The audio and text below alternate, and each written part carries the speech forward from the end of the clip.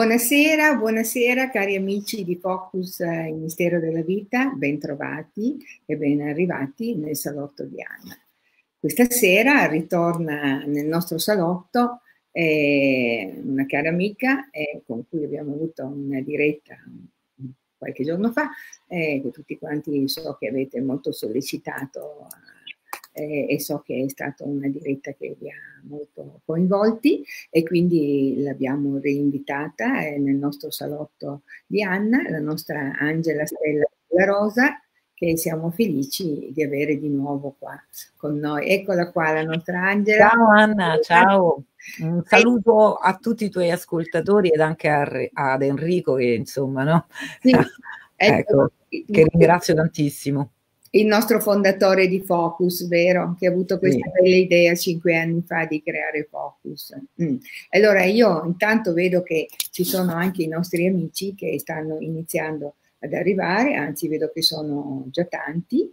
Eh, benvenuti quindi a tutti quanti i nostri ospiti, anche ai tuoi ospiti, perché so che tanti... Sì, sì, vabbè, avendo questo programma che va in onda il venerdì sera alle 22, ho messo un post anch'io, quindi ci saranno anche gli ascoltatori di Alieni Umani presenti. Bene, sì. Molto bene, ecco. Eh, grazie Enrico che ti vedo, eh, vedo Giuseppe, vedo Maurizio, Maurizio Grasso, grazie, eh, Roberta, Gabriella, eh, Graziella, e siete già in tanti, Alessandra, Laura. Bene, allora. Un saluto a tutti quanti. Ecco, un saluto caro anche da parte mia, a tutti quanti voi. Eh, allora, vedo che il numero aumenta in modo esp- esponenziale. Allora, la volta scorsa abbiamo un po' parlato dei tuoi contatti e quindi della tua esperienza, cara Angela, però in una nostra conversazione privata eh, siamo, ci siamo ritrovati e io ti ho chiesto, ma tu che esperienza hai vissuto per quanto riguarda quelle tematiche che noi come Focus Mistero della Vita sovente affrontiamo, che sono ad esempio quelle delle medianità, di esperienze extrasensoriali. E tu, naturalmente, Angela, mi dici, ma io, io le chiamo le esperienze del mondo altro, no? Sì. E che è molto interessante, ecco. Come... Allora, guarda, eh, questo è anche un tema un po', insomma, particolare. Ecco, io intanto mh, magari eh, dico due parole per le, persone, per le persone che non mi conoscono, che è la prima volta che insomma, mi vedono, che magari non hanno seguito l'altra puntata. No? Io ho, da sempre esperienze con quelli che vengono definiti alieni, no? questi esseri che non appartengono al nostro, alla nostra terra, che vengono da altrove, no? da altrove però in questo universo e sono esseri, io ho sempre avuto, eh, avuto a che fare sempre con esseri in carne ed ossa, quindi benché dalla diciamo dalla conformazione sempre umanoide, per cui non ho mai avuto a che fare, che ne so, con coccodrilli, con dinosauri, con, no, con forme strane, mantidi o quello che no, l'ufologia tratta. Io non ho mai avuto a che fare con questo genere. Neanche Io... Angela, neanche con ad esempio esperienze, non so, di corpi di luce Assolutamente no, assolutamente no. Tutti gli alieni che ho visto, con cui ho avuto a che fare in tutta la mia vita, sono sempre stati solidi in corpo, sì. con un corpo, con una solidità, fatti in carne ed ossa, per capirci come, come lo siamo noi, eh, e appartengono a questo universo, quindi non a universi paralleli, ad astrale o cose di questo tipo. Stiamo parlando di cose solide in carne ed ossa. Ovviamente hanno per la maggior parte, come ho detto, no, delle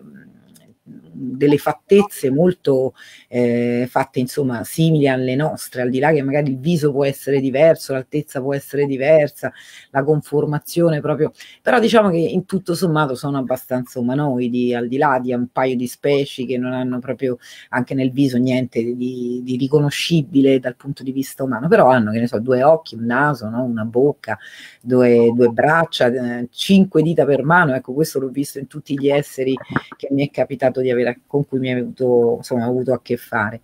E da un paio d'anni più o meno ho deciso di raccontare quella che è la mia esperienza con, con, annessa anche la ricerca che sto conducendo da più di ormai 30 anni, devo dire quasi 30 anni, perché non mi ritrovo assolutamente né con le teorie né con le ipotesi che sono state fabbricate o portate avanti finora no, dall'ufologia generale. Io non sono d'accordo con nessuno perché quello che viene raccontato poi non corrisponde a quello che vivo. Non c'è, siccome non c'è corrispondenza, io non voglio dire che quello è vero, il mio no, è il mio è più vero e quello è falso quell'altro. Io dico semplicemente, non è la mia esperienza, vi racconto quello che succede a me. Poi quello che la gente se ne fa di quello che io racconto non è che mi, mi riguarda, no? Io cerco semplicemente di condividere quella che è la mia esperienza e la ricerca che ho portato avanti fino a questo momento. Quindi, Angela, ti, inter- per... ti interrompo, volevo solo dire sempre per i nostri amici, magari per la prima volta, come giustamente dicevi tu prima, ehm, ti incontrano nel salotto di Anna, che tu comunque queste esperienze le vivi sin da quando eri piccola. Sì, sì, sì, le prime esperienze sono legate ai primi ricordi, quindi siccome io ho avuto, un, quando ero molto piccola, abbiamo cambiato casa, quindi riesco anche a datarla farla con, abbastanza con, precisamente. Quindi diciamo che tra i due anni e mezzo, tre, risalgono i miei primi ricordi e sono sempre legati anche alla loro presenza nella mia vita, quindi è da sempre che sussistono. Poi nel tempo diciamo che il primo incontro vero e proprio che posso classificare come un incontro, quindi che, viene, che è avvenuto in maniera diversa da un prelevamento, quindi un vero e proprio incontro, io ce l'ho avuto intorno ai 14, 15, 16 anni, insomma quell'età là, no? 14-15 anni, quell'età lì. E poi sono proseguiti anche questo tipo di incontri che non hanno a che fare col prelevamento, ma hanno a che fare proprio con delle vere e proprie chiacchierate. Ritorno a ripetere con esseri in carne ed ossa, nella fattispecie la, la, diciamo, la, gli esseri che con cui ho contatti sono quelli che ho chiamato biondi. Anche qui il nome che do a tutti questi esseri è un nome mh, di fantasia, chiaramente, perché nessuno di loro mi ha detto io noi no, facciamo parte dei biondi. Sono sempre nomi che diamo noi a questi esseri. Ho deciso di dargli un nome specifico proprio per distinguerli da tutto quello che si è che si è detto, no? perché magari anche della, del gruppo dei biondi io ritrovo in alcune descrizioni qualcosa, no? per esempio quelli che vengono chiamati nordici, però poi c'è sempre anche no, dietro questo nome, ci sono anche tantissime altre cose che non mi corrispondono, per quello ho, ho detto no, parlo della mia esperienza, poi quello che è. Diciamo. E nel corso del tempo, nel corso del tempo, ovviamente facendo questi studi, mi è capitato spesso e volentieri qua vi dico è una mia opinione e io non sono un guru, non mi propongo come tale, non detengo, no, non sono no, in possesso delle grandi verità cosmiche, io ho qualche tessera, qualche tassello, ma niente di più. Però né, durante le ricerche una cosa che ho notato è che eh, tutte le esperienze, diciamo, straordinarie che l'essere umano vive viene, vengono tutte quante immesse in un unico calderone. E io invece mi sono sempre resa conto che le esperienze sono completamente diverse. Qui andiamo non nel tema. E, ehm, gli esseri con cui ho a che fare sono una cosa, si comportano in una certa maniera, c'è un tipo di interazione con loro ben precisa. Poi esiste tutta una casistica di fenomeni eh, che assisto, che vivo, che, che, che mi capitano, che mi vengono anche raccontati da altre persone, che non hanno per quanto mi riguarda, assolutamente a che fare con gli alieni, non hanno a che fare assolutamente con quello che la maggior parte della gente racconta, eh, non mi ritrovo anche lì purtroppo, e quindi gli ho dato anche qua una connotazione, no? usando, coniando un termine preciso che è mondo altro, cioè tutto quello che accade con entità, con forme di energia, no? che non sono legate agli alieni, non sono legate no? a, a, a noi, però in qualche modo, qualche volta succede qualcosa per cui questo velo che separa i vari piani diventa più... Incontro. Certo. E quindi è, è, possibile che tu abbia dei fenomeni o assista no, a vere e proprie manifestazioni di eh, qualche cosa che però è assolutamente no, non ha a che fare col mondo alieno. Sono due cose completamente, sì. completamente ecco, allora, quindi questa sera eh, mettiamo per un momento da parte gli alieni e quindi anche se mi pare di aver capito che insomma alla fine la questione è che noi dalle testimonianze che, che l'uomo ha raccolto e dalle documentazioni noi sappiamo che su questo pianeta esistono degli esseri che non sono umani, o meglio, sì, è giusto?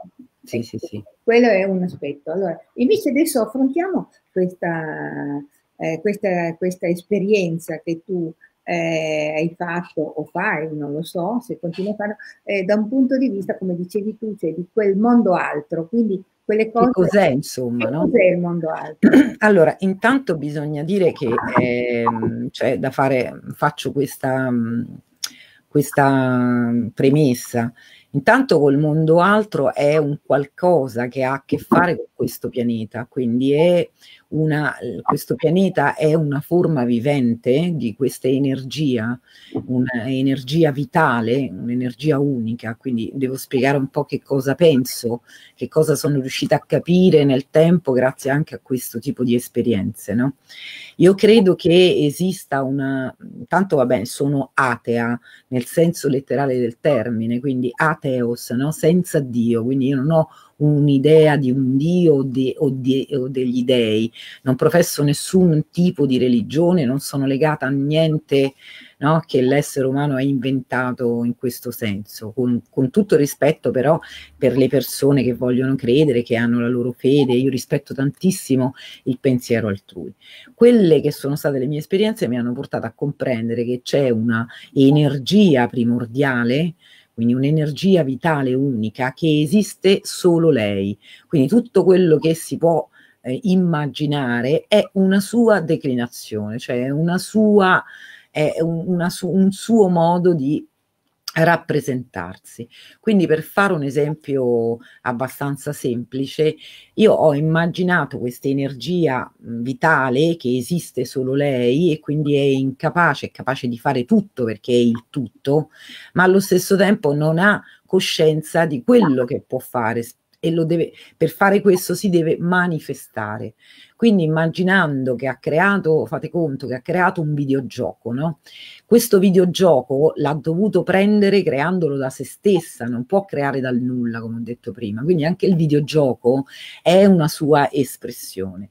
Dopodiché entra in questo videogioco, quindi entra dentro se stessa immaginate no, frantumandosi in miliardi e miliardi infiniti di pezzetti e ogni pezzetto è sempre lei, quindi è sempre, è sempre una sua manifestazione, che a loro volta tutti questi pezzetti danno luogo ad altri videogiochi interconnessi tutti tra loro, perché l'energia da cui partono è sempre una, no?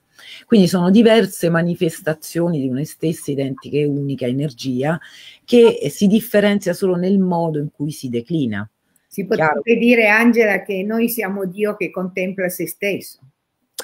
Mm, non mi calza molto, no? perché no, fa, fa, pensare che noi siamo comunque coscienti di essere Dio, in realtà non lo siamo. Di essere Dio, no, ma di essere una particella divina, sì. Ma in realtà qualsiasi cosa esista, ecco, questo è un concetto che vorrei si capisse qualsiasi cosa esista è una declinazione di questa energia, quindi anche il computer che uno ha davanti, la materia che ci circonda e anche quello che non vediamo, perché noi percepiamo il nostro, il nostro universo attraverso i nostri sensi che sono bene, lo abbiamo capito anche grazie no, alla scienza, sono molto limitati, tantissime cose che sono, che sono presenti, che ne so, i fotoni, eh, le varie forme di energia che ci sono intorno a noi, noi non le percepiamo, però per esempio gli infrarossi, basta mettersi no, un'attrezzatura adatta, ti permette di vedere, anche lo spettro dei colori è molto limitato quello che noi vediamo, quindi la realtà che ci circonda è molto più ampia di quella che noi vediamo. E tutto questo, anche quello quindi che non vediamo, è comunque una declinazione di questa energia, lo stesso computer, la penna, qualsiasi cosa che uno vede. La differenza quindi la differenza è solo nel diverso modo di manifestarsi che ha questa energia, no? no. Quindi, possiamo chiamarlo Dio, ma possiamo chiamarlo in un altro modo, ecco, no? Io preferisco chiamarla forma di energia. Una forma di energia, sì, certo. In questa forma di energia intelligente che si declina in tutte le possibilità, le n infinite possibilità. Quindi questa terra è uno di questi frammenti che si manifesta e tutto ciò che manifesto su questa terra è una declinazione di questa energia appartenente alla terra. Quindi è uno di quei frammenti, no? se vogliamo chiamarli così, uno di quei frammenti è il nostro pianeta, ad esempio, e quindi tutto quello che si manifesta, gli animali, le piante, l'erba, tutto quello che esiste, esiste perché è una declinazione di questa energia. Questa energia però non è che si manifesta solo attraverso le cose che noi vediamo e percepiamo, si manifesta anche attraverso questo che ho chiamato mondo altro, che è un mondo sempre appartenente alla declinazione di questo pianeta. Quindi le manifestazioni, le varie manifestazioni che uno può percepire e vedere attraverso eh, la normalità, perché non, almeno a me non sono mai successe attraverso pratiche straordinarie, cioè io tutte le cose che ho visto, tutte le forme che ho visto, le ho sempre viste da sveglia innanzitutto, mm. qua non stiamo parlando di nulla che succede mentre uno dorme, ok? Oppure mentre ha uno stato alterato da sostanze, da, da, da, di coscienza, perché uno magari è stressato, no? Stiamo parlando di fenomeni che accadono nella realtà senza che uno faccia nessuna pratica nella normalità del vivere, del quotidiano. Queste esperienze io le ho, vi- le ho vissute fin da bambina. In quindi in concomitanza al fenomeno alieno vivevo e vivo tuttora anche questo. E quindi è chiaro che poi la ricerca ha preso no, due binari paralleli perché mi sono proprio resa conto che le due esperienze non facevano parte della stessa natura, cioè il mondo altro non è alieno, il mondo altro è qualcosa che appartiene a questo pianeta e ci sono delle manifestazioni che a volte tu puoi vedere dalle ombre a delle forme proprio vere e proprie forme solide, a delle cose che ti possono, ti possono accadere. Queste manifestazioni, ci tengo a dire, mm. che ho notato nella mia ricerca, che appartengono proprio all'essere umano, cioè non sono anche qua, mh, mm, con buona pace magari di chi non è d'accordo, non è una qualità straordinaria dell'essere umano, è una qual- qualità ordinaria dell'essere umano. Poi ci sono delle persone che queste cose magari le hanno più frequentemente, quindi hanno se vuoi, no? una capacità di medianità più, anche se ormai anche qui usare questi termini per me diventano un po' così, no? Fuffa, perché nel, nel, nella, la medianità ormai è diventato qualsiasi cosa, no? Quindi per quello che non... Che cos'è la medianità? Ecco, cioè ormai è diventato di tutto. Ma perché, me, per me la medianità è semplicemente la capacità che ha l'organizzazione del nostro DNA mm. che permette a te essere, no, essere cosciente che si manifesta in un corpo, permette anche in alcuni momenti va a capire come, è chiaro che c'è una spiegazione scientifica a tutto questo e noi prima o poi la troveremo, sì. va bene? Tutto quello che esiste ha una spiegazione. Quindi ci sono dei DNA già predisposti in qualche modo, quindi ci si nasce con queste cose, queste mh, diciamo queste mh, che noi, per noi sono particolarità, no? Però in realtà non sono particolarità, sono proprio funzioni dell'essere umano e quindi in alcuni DNA queste funzioni sono già attive, in, chi di più, chi di meno, ma sono proprio presenti nel DNA. Quindi ci si nasce, normalmente hanno anche a che fare con il discorso no, di linea genetica. Quindi non è che se uno ha a che fare con gli alieni poi ha anche a che eh. fare col mondo altro, quindi solo gli addotti hanno a che fare col mondo altro. Non è così. Il mondo altro è proprio qualche cosa che appartenendo alla Terra, tutti gli esseri umani sono legati anche ai vari piani che ci sono qui, no? Quindi anche alla manifestazione del mondo altro. Però ho notato che le persone che sono addotte questa particolarità ce l'hanno di default, cioè non ho mai trovato un addotto che non abbia anche a che fare in, in maniera eclatante o meno con il mondo altro. Ma senti Angela, quindi cioè, secondo te, ad esempio, il concetto dell'anima, perché mm. cos'è per te l'anima? E nella, nell'accezione della tua eh, descrizione, come hai fatto prima e eh, come hai fatto poc'anzi, dove ci hai dato quella che è la tua interpretazione, la tua visione del mondo altro, di quella che è la dimensione di quello che succede, insomma, nel mondo altro, e, e quindi per te l'anima esiste? Come la... Allora, io mh, mm, mi baso su delle esperienze personali, quindi è chiaro che poi queste esperienze sono filtrate non solo dalle mie capacità intellettuali, sono filtrate anche dal momento storico che vivo e dalle nozioni che ho imparato vivendo, no? Quindi va, insomma, va tutto quanto sempre solo preso con le molle, perché ripeto, finché non ci saranno studi profondamente scientifici con delle metodologie inoppugnabili, quindi no, che, che, diano poi che diano poi delle risposte altrettanto inoppugnabili. Quindi ci sarà un momento in cui la scienza arriverà proprio a spiegare tutti, que- tutti questi fenomeni che molto spesso no, hanno a che fare un po' per noi è un po' magia. Quindi eh, queste esperienze che ho vissuto, che ripeto non hanno a che fare con gli alieni, mi hanno fatto capire che e dentro di me, in qualche modo, non so spiegarlo meglio, dentro di me ci sono varie declinazioni di questa energia intelligente e mi è capitato più di una volta che questa energia, questa energia che io sono, che in qualche modo mh, sono, esce dal mio corpo in maniera completamente spontanea, non legata per, per, forza la presenza di questi esseri, quindi non mi è successo solo e esclusivamente quando erano presenti questi esseri, ma anche in altri momenti della mia vita in maniera spontanea.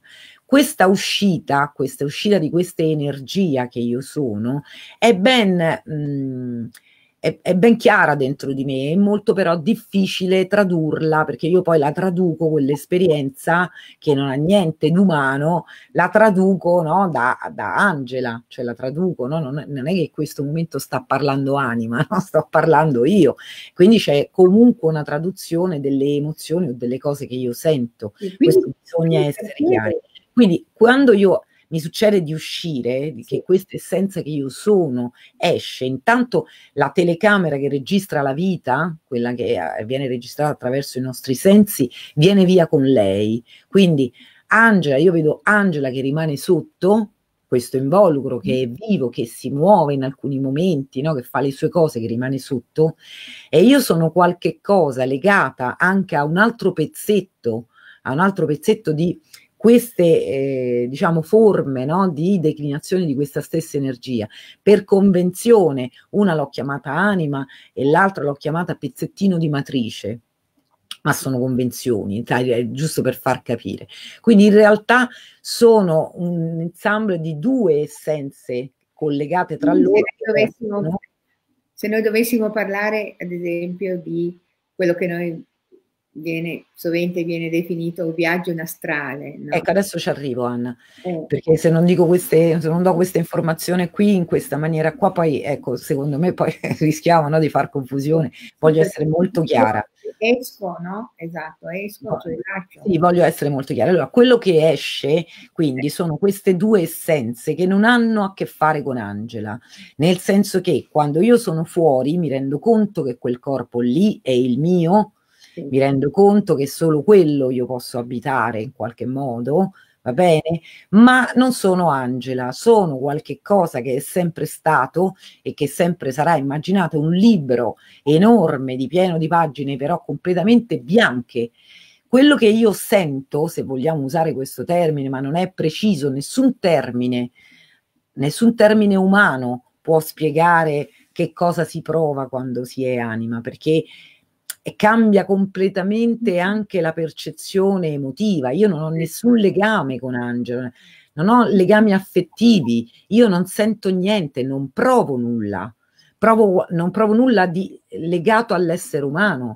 umano certo. Provo qualche altra cosa. Per esempio, sono interessata alle altre essenze contenute nei vari corpi che vedo intorno a me, se ci sono delle persone, se mm. questa cosa mi capita con ci sono, che sono affini alla, alla mia essenza, che sono declinazioni identiche alla mia.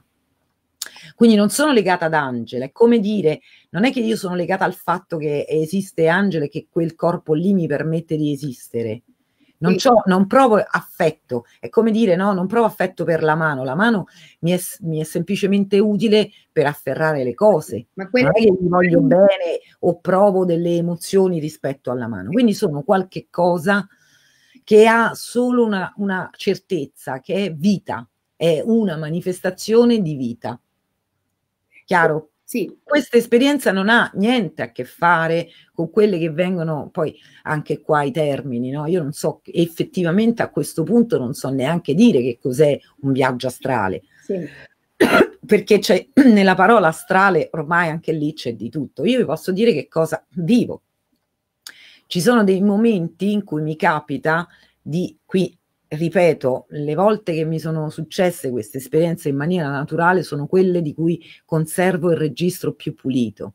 In tutti questi anni ho fatto tantissime ricerche, quindi ho praticato, penso, a parte, a parte certe forme di yoga, penso di aver praticato quasi tutto, ma nessuna di queste esperienze che ho fatto attraverso queste pratiche mi è poi servita e quindi, credo che non esista in realtà è un mio pensiero con rispetto di tutti gli operatori del settore, credo che non esista nessuna pratica, nessuna pratica che possa in qualche modo farti no, avere queste, queste facoltà.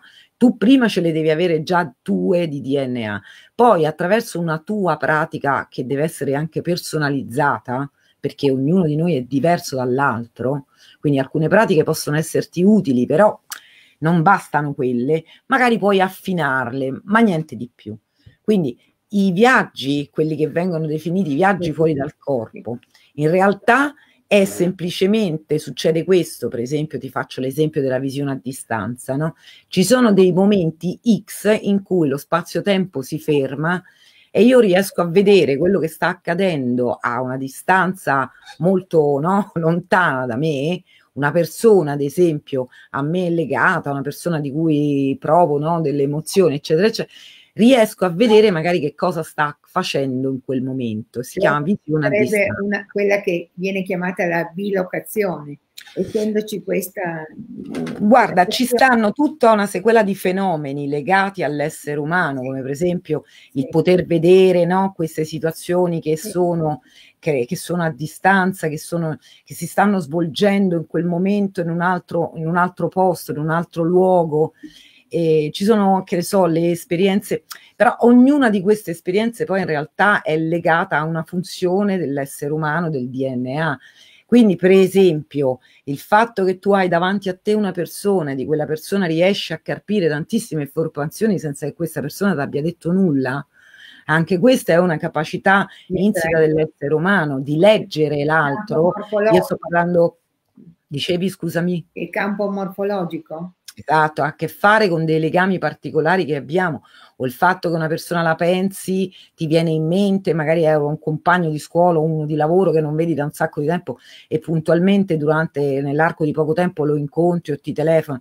Ci sono tantissimi fenomeni, fe- ma te ne potrei dire tanti, il fatto che per esempio a volte si spostano degli oggetti da soli e, e il fatto che tu pensi che vuoi cambiare canale e a un certo punto il canale si cambia.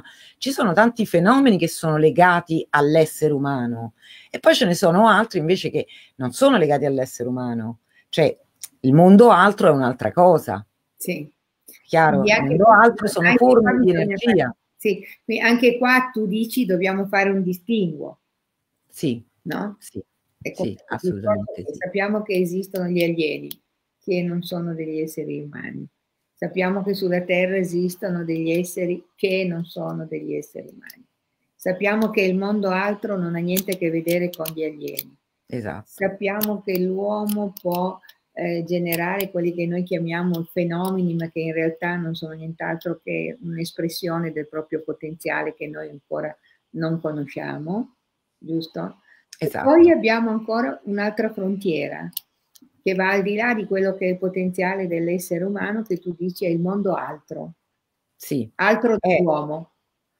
È altro perché non ne sappiamo assolutamente nulla. Poi di questo mondo altro ognuno, sai, tu hai dei fenomeni, no? Per esempio, ti capita di vedere delle forme di energia e tu quelle, a quelle forme di energia gli dai la connotazione che più desideri o che fa più parte, no? Di quello che tu eh, riesci a percepire, a capire. Per cui, per esempio, alcune manifestazioni del mondo altro tu le puoi percepire come angeli, come demoni, come entità, come morti, puoi, puoi dargli il nome che vuoi, insomma, no? Dipende anche dalle tue credenze.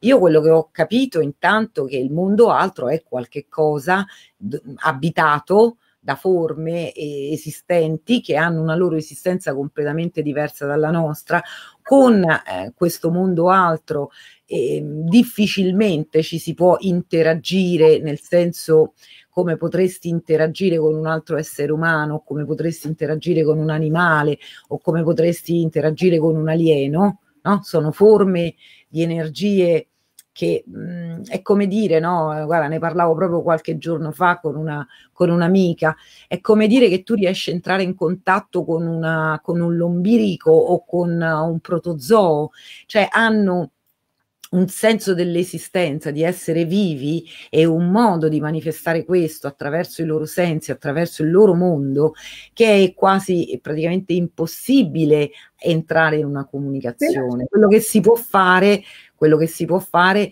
è osservarsi, cioè è in base all'altro, alla capacità dell'altro di manifestarsi, rendersi conto della presenza altrui. Però può essere che invece ci sia uh, una possibilità di comunicazione con questo. Io questa cosa non l'ho mai non sperimentata. sperimentata ecco. Quindi, siccome io non l'ho mai no, sperimentata, ecco. Anna, parlo di quello che conosco. Sì, sì, sì, ecco, in tanti anni ho avuto a che fare tutti i giorni perché questa cosa del mondo altro ha che, proprio a che fare con l'essere umano, quindi può capitarti, ci sono periodi in cui capita più volte al giorno no? di vedere ombre, di vedere eh, forme, di, di, di, di, situazioni insomma no? che hanno una, una, sì.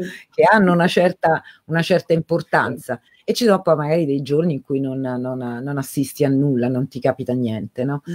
Quindi ho una forte esperienza. Quello di cui sono certa, ecco, que- questo con buona pace di tutti, lo so che molti non saranno d'accordo con me, però io posso parlare solo delle esperienze che ho, è che quando Angela morirà, cioè quando io morirò, va bene, quando io non ci sarò più, Angela morirà con me, cioè nel corpo, il corpo che io ho, questa, eh, questa, no, questa cosa che, che, ho, che è il mio corpo, farà tutto il suo processo di trasformazione. Quella che è stata Angela, questa essenza che io sono, questa vita che io manifesto nel, nel, nel, vivere, cesserà con la morte di Angela, cioè Angela è una cosa che inizia con la sua nascita e finisce con la sua morte. È un'espressione di questa energia vitale, come posso dire, che un vestito che questa energia vitale ha indossato e che ha un tempo limitato, inizia A e finisce a B. E dopodiché, quando finisce questa cosa, questo vestito viene tolto, rimane un residuo no, di, del, del, della mia essenza, delle mie cose, del mio pensiero, delle, delle forme no, di pensiero che io sono stata, rimane nel DNA della mia famiglia, rimane a disposizione di questa energia che tutti quanti noi siamo e rappresentiamo, ma non esiste più. Non esiste Quindi più. Quindi tu non pensi che possa esistere la reincarnazione, se mi dici questo? Io credo che la reincarnazione, così come viene mh, definita, non mi corrisponde, sì. perché essendo stata più volte fuori dal corpo come anima, come essenza, io so che quell'essenza è come dire, è quella che è la forma eh, quella rimane immortale, cioè l'energia ah. è immortale. Ah, Lavoisier ce l'ha spiegato nel Settecento, no? Nulla si crea, nulla si distrugge, tutto, tutto si, si trasforma. Certo, è... è... quella forma di energia lì sì. che io sono, sì. quella forma di energia lì è in questo momento una forma di energia eh, senza ancora, diciamo, eh, una, una forma di energia ancora appena abbozzata, che non ha ha consapevolezza di essere viva, ma non ha ben chiaro no, che cosa vuol dire essere viva, le forme e via dicendo. Quindi indossa un vestito di volta in volta. Quindi. Angela in questo momento rappresenta il vestito in cui lei si manifesta in questa realtà, in questo spazio-tempo. e quindi allora in questi termini comunque in qualche modo c'è una visione di una reincarnazione, nel senso sì, che... è una reincarnazione ah. però che ha a che fare con un, un discorso un po' diverso da quello che si fa anche in senso religioso con il quale io non mi ritrovo, ad esempio, no, che ha a che fare con una sorta di premio punizione, no? che ha a che fare con tutta questa, che questa pratica questi percorsi dice che non è così, ecco, insomma, è più la religione che magari ti dà questa mm. visione ma non tanto... Intanto bisogna dire che nessuno è morto no? e quindi nessuno di noi può sapere veramente come stanno le cose. Resta il fatto che la scienza, quando capirà le essenze, perché comunque questa essenza immortale che noi siamo è presente dentro di noi, ci sono delle ubicazioni, ad esempio io quando rientro nel corpo, no? Cioè una cosa molto particolare che ho raccontato. Allora, io quando rientro nel corpo, rientro da questo punto qua, che è la fossetta giugulare, no? Mm. E in tutte le pratiche che ho fatto nella mia vita, tutte, Nessuno ci sono quelle che ti dicono no, di silenziare la mente, di ascoltare il cuore, sembrerebbe che il centro del petto sia no, dove si raggruppa l'energia più importante, ci sono i chakra, ci sono tutte queste credenze qui. Tanto ho capito che per avere accesso a questo tipo di fenomeni, intanto il corpo deve funzionare tutto, quindi non va mh, assolutamente messa a tacere la mente o assolutamente messo a tacere un senso no, in funzione della, devono funzionare tutti insieme in una magica armonia. È un sistema. Ecco, poi si deve fare distinzione tra quelli che sono fenomeni spiegabilissimi. Per esempio, ci sono dei fenomeni che no, si, adesso ci sta questa cosa che si fanno no, le onde cerebrali mentre uno sta in uno stato di meditazione. Sì. Io ho qualche dubbio perché vedi Anna, il nostro cervello quando va in fase REM comincia a produrre delle sostanze e le nostre onde cerebrali sì. cominciano ad avere un certo tipo di, no, di frequenza. più lenta, certo.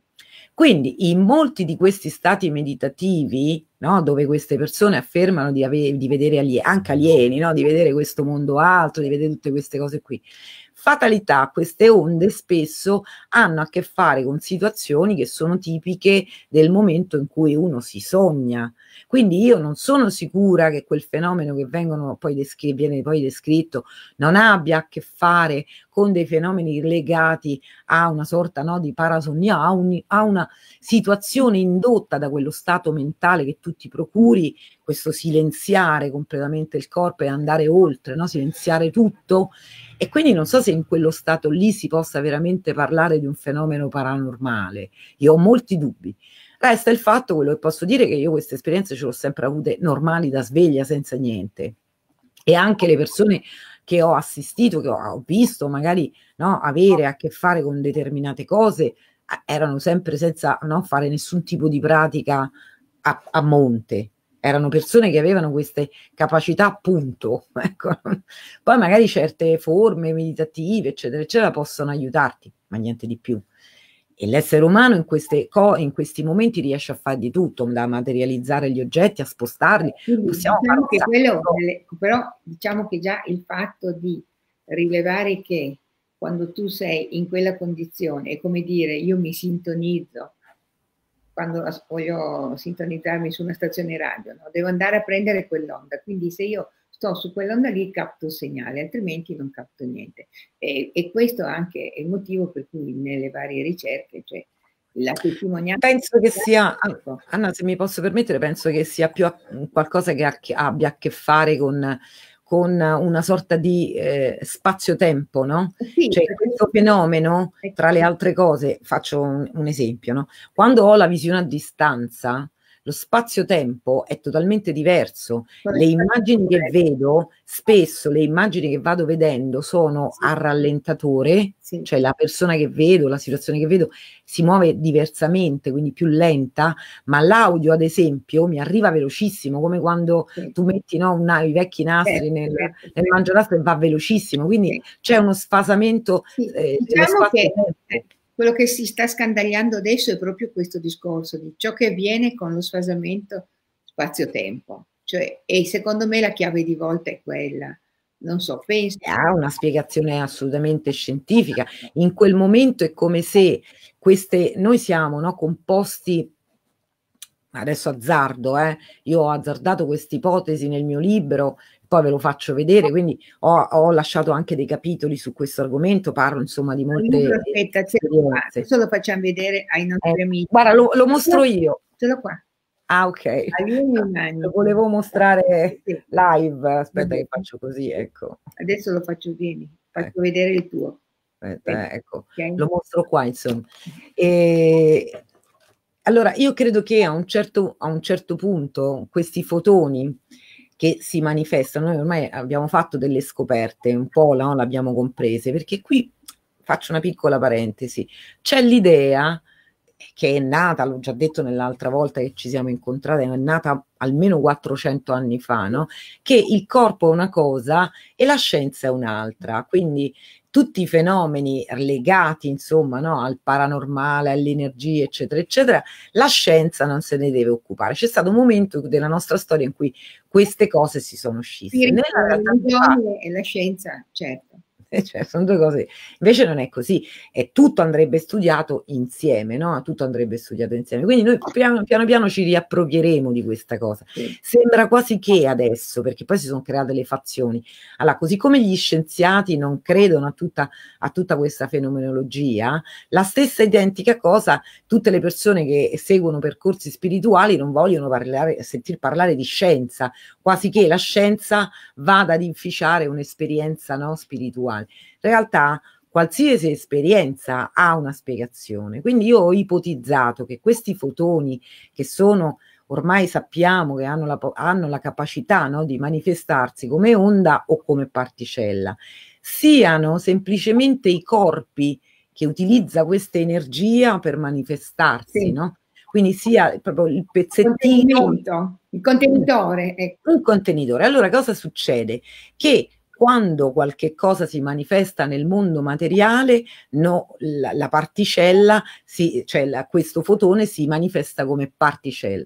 Quando si manifesta in un'altra situazione, si manifesta come onda. O in materia o o, o, è qualche altra cosa, no? Mondo altro, ad esempio. È cosa ecco, che da indagare. Sempre è un'altra cosa. Eh. Però queste due particelle sono sono proprietà che ha il fotone, quindi il fotone è allo stesso sia uno tempo che l'altro. sia uno che l'altro. Noi siamo composti, tutto quello che ci circonda, scusate, tutta la materia no, si manifesta quando il fotone si manifesta come particella. Quindi tutto quello che esiste è composto da fotone, ma la sua parte onda, anche quando si manifesta come particella, non scompare sussiste. Quindi io ho ipotizzato che il fotone possa funzionare un po' come i nostri caratteri ereditari. Cosa vuol dire questo? Che se per esempio in carattere ereditario è predominante, si manifesta, per cui che ne so, uno ha gli occhi sì. azzurri, eh, marroni, sì. perché il carattere dominante marrone è appunto più dominante rispetto al carattere blu. Mm. Quindi tu hai come dominante il marrone e si manifesteranno, manifesteranno gli occhi marroni, ma come recessivo ha il carattere degli occhi azzurri.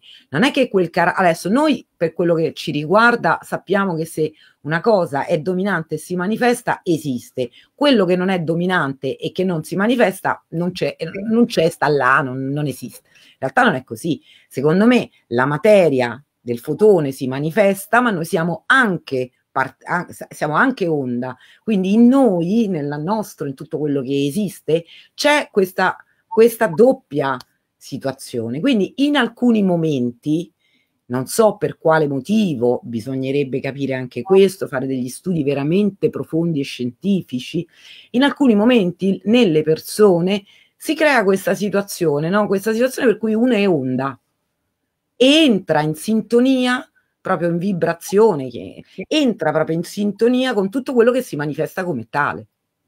Per cui tu riesci ad ampliare i tuoi sensi e a vedere attraverso i sensi che hai, perché poi non è che li vedi, che ne so, tua, nel tuo spazio rappresentativo, le ombre le vedi con gli occhi. È come se le funzioni che tu, di cui sei dotata abbiano accesso a eh. Un un, capito, ha uno spettro più ampio. Un spettro più ampio, certo, un caleidoscopio di opzioni. Di realtà. Sì, di realtà. Noi qua abbiamo un problema, ci sono tantissime domande. Immagino. Ecco, allora io direi di cominciare, cioè iniziamo a dare un po' qualche, qualche risposta. Certo. Eh, perché qui appunto sono in tanti, vediamo un po' di accontentare i nostri amici. Allora, intanto è carinissimo una nostra amica che scrive eh, Grazie a Parisi che dice ma perché gli alieni non mi contattano eppure sono pronta da tanto tempo e non sto ironizzando. Eh, come mai? Vanno da chi devono andare? Come... Allora intanto bisogna dire, eh, come si chiama l'ascoltatrice? Te lo dico subito, grazie. Grazie. Allora, ciao, grazie. Allora, intanto bisogna dire che noi abbiamo questa immagine che no, il contatto con l'alieno sia qualcosa che ti eleva superiore agli altri. Io parlo per me stessa, io sono una persona totalmente normale come tutti gli altri. Essere in contatto con questi esseri significa solo svolgere una funzione, quindi ha a che fare probabilmente un discorso di DNA, scelgono loro il perché e il per come, quindi non è una cosa che uno si mette lì e, e a un certo punto si materializza la linea. voglio che arrivino. No, non, succede, non succederà né ora né mai purtroppo, scelgono loro e credo che tutta questa cosa sia anche una, diciamo, una fase preparatoria a una possibilità che dovrebbe essere quella dell'essere umano di evolvere a tal punto, capire tanto, talmente tanto che a un certo punto sarà normale per noi comprendere che l'universo è abitato, ci sono tantissime specie, e quindi anche entrarci in contatto. Sì. Cioè, ve lo immaginate, faccio sempre questo esempio, ve lo immaginate fa tre 300, 400, 1000 anni, non è che noi saremo sempre così come siamo ora, no? Sì, ci evolveremo, faremo tante scoperte, capiremo tante cose, quindi sarà poi anche naturale arrivare a, al contatto no? massivo di, di, tra tutti noi. Per ora non servirebbe a nulla perché se si presentasse uno di qualsiasi di questi esseri, l'unica cosa che noi vorremmo è ottenere qualcosa, vorremmo che ci cura tutte le malattie, vorrebbe che ci no, sistemi sistemasse il mondo intorno a noi, vorrebbe che ci arricchisse, no? Ognuno di noi ha ha le sue, no?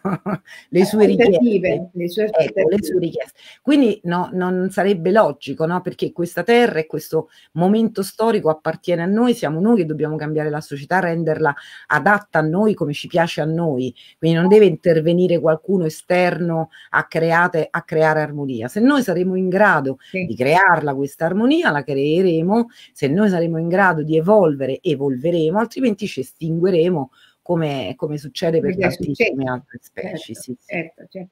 Eh, c'è Elia, Elia Di Biase dice ma la signora La Rosa ci darà delle prove di quello che dice.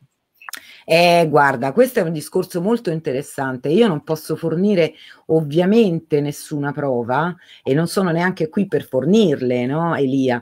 Io sono qua per raccontare la mia esperienza e mettere un tassello. Tu sei libero di credere, non credere. A me non mi interessa tanto essere creduta, non è interessante essere creduta, è interessante avere il dubbio. Allora, se a te verrà il dubbio che magari, no, oppure vorrai sapere come stanno effettivamente le cose, anche capire se effettivamente quello che io dico è fantasia, allora tu vorresti avere delle prove inconfutabili, vorresti che la scienza mettesse becco in questo argomento e cominciasse a fare delle ricerche molto serie, molto per arrivare a delle prove in un senso o nell'altro incontrovertibili. Quindi anche se io adesso ti facessi, ti faccio un esempio, Elia, è un esempio che faccio spesso anche durante le conferenze, cioè se anche in questo momento venisse qui un grigio no? e si manifestasse qua e a un certo punto tu lo vedresti. Mettiamo durante in questo momento, adesso non so quanta gente ci sta seguendo in questa diretta, no? Innanzitutto, ecco, voi non siete qui fisicamente, quindi uno potrebbe pensare che è un effetto, che ormai la tecnologia ti permette di fare di tutto. Ma mettiamo che si materializzasse durante una conferenza, quindi siete lì, lo potete anche toccare, lo potete vedere, ci potete no, provare a interagire, eccetera, eccetera. Usciti da quell'ambiente che è la conferenza, vi ci voglio a voi voi a andare a casa al posto di lavoro, al panettiere a dire sono stata alla conferenza e è venuto un grigio. ecco, quindi l'unica cosa che dovremmo veramente volere noi non è credere, noi dovremmo volere sapere come stanno le cose e l'unico modo per farlo è che inizino degli studi dici ma da dove partiamo? Per esempio da un unico dato sicuro che abbiamo, cioè moltissime persone in giro nel mondo raccontano di aver avuto a che fare con questi esseri e sembrerebbe ormai accettato da tutta la comunità scientifica che questi esseri quando hanno a che fare con te hanno a che fare anche con altri membri della, tu, della tua linea genetica, che può essere un nonno, può essere un bisnonno, può essere una sorella, un fratello, insomma comunque è a che fare col DNA. E dall'altro dato è che prendono alcuni e non altri. Allora dovremmo intanto cominciare da questi dati, cominciare a studiare la biologia. Ci sarà un motivo per cui prendono me, non prendono no, il certo, vicino, certo. non è casuale.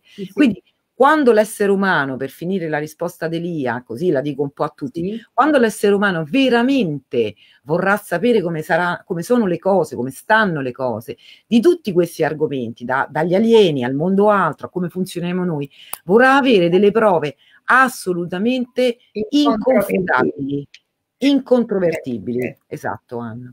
Senti, allora, eh, c'è Graziella, Graziella Tucci che, che dice, chiede che cosa ne pensi di Eugenio Siracusa?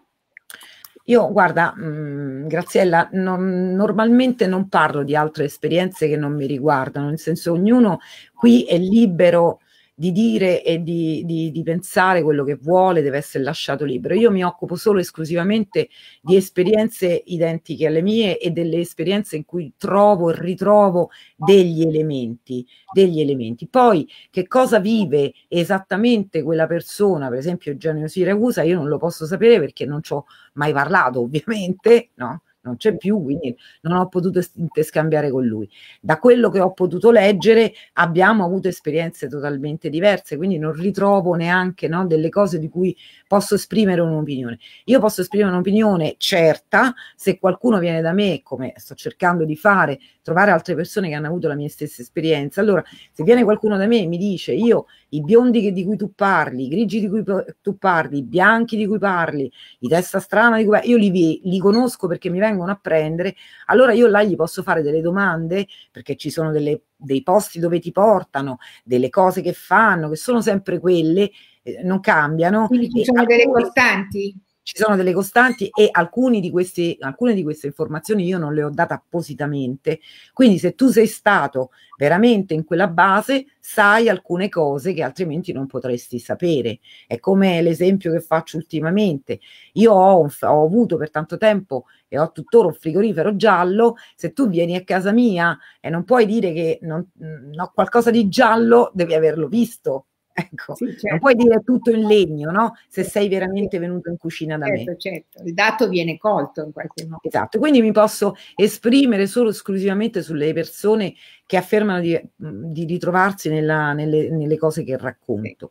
Qui e lì nella storia di varie persone famose che sono diventati contattati o insomma che hanno espresso, no, la loro, hanno raccontato la loro esperienza, ce ne stanno alcuni che qualche dubbio me lo fanno venire, però per ora non ho mai letto qualcuno che proprio raccontasse quello che io vivo, vedo delle cose che, eh, però poi torno a ripetere, eh, ci sta poi allora, qua bisogna dire una cosa, il contatto avviene, poi però è lasciato totalmente al libero arbitrio della persona. Quindi la persona può decidere se raccontare, se non raccontare, ma anche come raccontare. Anche come racconta, volevo dire. Quindi se uno può raccontare che ha visto gli angeli, che ha visto le madonne, che ha visto questo, che ha visto quell'altro, capite che ovviamente il contatto tu lo vivi, ma anche in base a quello che poi sei in grado di raccontare, perché è quello che, che puoi comprendere. C'è una persona molto religiosa che magari è vissuta negli anni 30, 40, 50, in cui la religione, soprattutto cattolica, era molto presente, con un, un, grado di acculturamento abbastanza insomma normale, è chiaro che ti parlerà di angeli, no? Mettendoci anche dentro, purtroppo a volte è questo, mettendoci anche dentro il proprio per rendersi credibile, per dare, no, per dare anche una lune un po' più... Anche eh, se noi, cioè, voglio dire, c'è tutta una letteratura come nel, nella tua esperienza, quindi tu raccogli testimonianze di persone che vivono un'esperienza simile alla tua, esistono anche persone che vivono delle esperienze di quel tipo lì, eh, angelico che hanno delle costanti anche loro. E quindi... Io non so proprio di queste esperienze qua, non so proprio che sì. cosa dire, non mi sono mai capitate. Hai detto so che non... dici io parlo delle cose di cui ho avuto esperienza. So che, so che eh. non sono alieni, ecco, non sono alieni, questo lo posso dire perché gli alieni sono fatti in un'altra maniera. Non ho mai visto angeli, quello che ho potuto, mi è potuto capitare sì. è vedere qualcuno di questi esseri vestito travestito, se vogliamo, da angelo o da Madonna, perché quello era un momento come particolare dicono, della mia vita. Sì, come dicono, delle, uno dei dati che viene molto registrato nelle persone che vivono queste esperienze è che eh, si presentano all'uomo nella forma in cui la mente dell'uomo può accettare. Questa è una cosa che ho detto anche tante altre volte, cioè se tu il contatto, il prelevamento ha una funzione ed è una funzione che serve a magari a volte a divulgare delle informazioni, quindi a loro tutto gli interessa tranne che tu flippi di testa, no? Certo. Quindi è chiaro che certo. se tu hai una forte connotazione religiosa, in quel periodo per esempio in cui io mi ero fatta appena appena la cresima, ho cominciato a studiare i testi biblici, avevo più o meno eh, vent'anni, eh, più o meno quell'età, e a un certo punto mi era venuto il dubbio no? che potessero essere angeli, potessero essere, no, che ne so, e quindi in quel momento mi si presentavano così. Quando ho capito che erano sempre alieni, che non avevano a che fare con questo mondo spirituale. Io non sono religiosa, non appartengo a nessuna chiesa, tantomeno quella cattolica, quindi non, no? quando ho cominciato a capire questo hanno smesso di vestirsi da angeli e da madonne e sono tornati a vestirsi come erano sempre stati. Sì. Questa è l'unica cosa che posso dire. Sì, Poi, se la gente certo. vuol credere che ci esistono gli angeli, che esistono le cose che vengono descritte nella Bibbia, che esiste il paradiso, a me, a me non mi cambia nulla, cioè ognuno è libero di credere quello che vuole. Certo, certo, difatti cioè, io penso che la cosa importante sia eh, mettere sul tavolo le esperienze eh, onestamente, come stai facendo tu, dove dici io, la mia esperienza è questa, altre cose non le ho vissute così, non posso dirti, non posso parlarti. Ecco, l'importante è che sia chiaro che non mi vengano a dire che, perché a volte succede anche questo, eh, quelli che hai visto tu sono angeli. No, io non ho visto angeli, io ho visto alieni. Poi quello che la gente vuole eh, credere. Ma c'è una differenza tra gli alieni. Eh no, ma io non lo so neanche se c'è questa differenza. Per capire se c'è differenza dovrei averli visti tutti e due. Allora posso dire c'è differenza tra uno e differenza tra Anche se c'è quello che, su cui invece cioè, si lavora molto e sono i vari piani dell'esistenza. Quindi bisogna capire con quale piano dell'esistenza uno si sta confrontando non io non ho la più pallida idea, io posso parlare solo di quelli con cui vivo io. E l'unica cosa che sto cercando di fare, sì. per quanto possibile, eh, per quanto possibile è cercare di fornire del, i dati sì. nella maniera più pulita possibile. Quindi anche... E questo è importante, stare cioè, in una condizione di correttezza e di obiettività. Esatto se do un dato è perché io quella cosa l'ho vissuta più e più volte, ne sono certa, adesso c'è anche il gruppo, ho trovato altre persone che vivono la mia stessa esperienza, quindi sì, noi effettuiamo proprio degli studi di comparazione dei dati, eh. perché bisogna anche togliere quello che tu vivi, perché quelle sono situazioni tremende, quindi ci metti anche il tuo, la tua paura, la, la, la proiezione mentale che fa la tua paura di quella situazione bisogna pulirla la, per dare il dato scientifico. Hai detto una cosa importantissima, la proiezione mentale che tu hai, mm. quello è un dato importantissimo. Ecco, quindi bisogna pulire, bisogna pulire l'esperienza dal dato. Faccio un esempio, se uno assiste a un incidente, tu ti ritroverai, viene lì no, il carabiniere, ti ritroverai con 20 versioni diverse perché quella è la proiezione mentale di quello che uno vede quando assiste a quella cosa. Però poi ci sono, no? Ci sono degli elementi comuni che ti permettono di ricostruire effettivamente come sono andate le cose. E questo è quello che noi stiamo cercando di fare. Anche perché vi immaginate, no? Che un po' è quello che questo è fatto finora, con tutto il rispetto, però io non faccio questo. Vi immaginate questo carabiniere perché questo è un po' quello che si fa ora con l'ufologia. Questo carabiniere che va, o anche no, i racconti del mondo o altro, questo carabiniere che va dalla persona e, e, questa persona passa il tempo a dirgli come si è sentita, quello che ha provato, lo spavento. A un certo punto questo carabiniere gli direbbe: Sì, vabbè, signora, però mi dice che quello che si ricorda della situazione, fatto, fatto, quello, perché sì, è importante l'aspetto emotivo, la situazione, come ti vivi questa cosa, però noi siamo qui, almeno io, facendo ricerca, quindi ci interessa il dato. Devi partire dal fatto, l'analisi del fatto, certo, certo, anche noi giornalisti dobbiamo guardare i fatti, prima cosa. I fatti, i fatti. Prima i fatti, dopo arriva tutto il resto. Dunque allora, Graziella, sempre Graziella dice, Graziella dice eh, tu ci dici, penso che gli alieni non facciano parte delle entità spirituali in quanto disincarnati, magari sbaglio, eh, dice. Vabbè, Guarda, non, non, so di quali alieni parli, io posso raccontarti di quelli che conosco io. Mm. Allora, questi esseri e tutto quello che esiste ha un'anima, non è disincarnato in niente, hanno il loro corpo, quindi sono mm. incarnati in un corpo. Sì. È un corpo adatto, così come l'essere umano ha una forma di energia che è compatibile solo col DNA che, che ha creato questo corpo no? Perché il nostro DNA crea questo corpo che ha delle funzioni. Sì. La mia energia, se vogliamo, ha un grado di consapevolezza adatto a questo corpo e quindi io sono un'energia umana, non sono un'energia aliena. Un alieno non potrebbe abitare nel mio corpo, non potrebbe avere un corpo umano, perché molte delle funzioni che abbiamo sono innanzitutto limitate. certo. Ecco, oltre al fatto che loro ne hanno proprio altre, perché il loro corpo è adatto a loro. È chiaro che questi esseri hanno una consapevolezza talmente maggiore della nostra che loro sono quindi quella cosa che dicevo prima, no? che quando esco fuori sono anima, questa energia che ancora non ha proprio consape- ha consapevolezza solo di essere viva, no? di essere sempre stata, ma non ha una consapevolezza. Questi esseri invece sono consapevoli sempre di essere sempre loro. Quindi una volta che il loro corpo muore, una volta che loro rinascono, rinasce sempre la stessa persona, lo stesso essere. Quindi questa cosa io la smentisco totalmente, mi, mi sembra illogica, mi sembra priva di, piena di fantasie e di paure, questa cosa che sti alieni se ne vanno via svolazzando, no? occupando i vari corpi, parassitando i corpi degli esseri umani, cioè sono tutte sciocchezze. Poi ognuno infatti c'è, qua c'è Salvatore De, eh, ti prego, ti prego, De Rinaldis che dice, eh, rispondendo alla Graziella, eh, dice ma... Mh, mm, da quello che so io si possono manifestare degli alieni non del tutto buoni, tutto in base a quello che trai- attraiamo noi. Eh vabbè, sta storia qua è un bel giochetto, piace molto. Allora diciamo che io non ho questo tipo di esperienza. È chiaro che uno può credere quello che vuole. Volete credere che l'alieno è attirato? Ognuno c'è qualcuno che dice che ognuno ha l'alieno che si merita, sì, ragazzi. Sì. Se vogliamo, qua siamo, io faccio ricerca, non, non mi occupo di, di, di insomma, di, di, spiritualità spicciola. Sì. Qua le cose sono assai diverse. Poi, ripeto, ognuno è libero di credere quello che vuole. Eh. Certo. Andiamo Senza... avanti. La Mariangela Pampaloni dice: mi, piace, mi farebbe piacere sapere cosa ne pensa di Pier Giorgio Caria.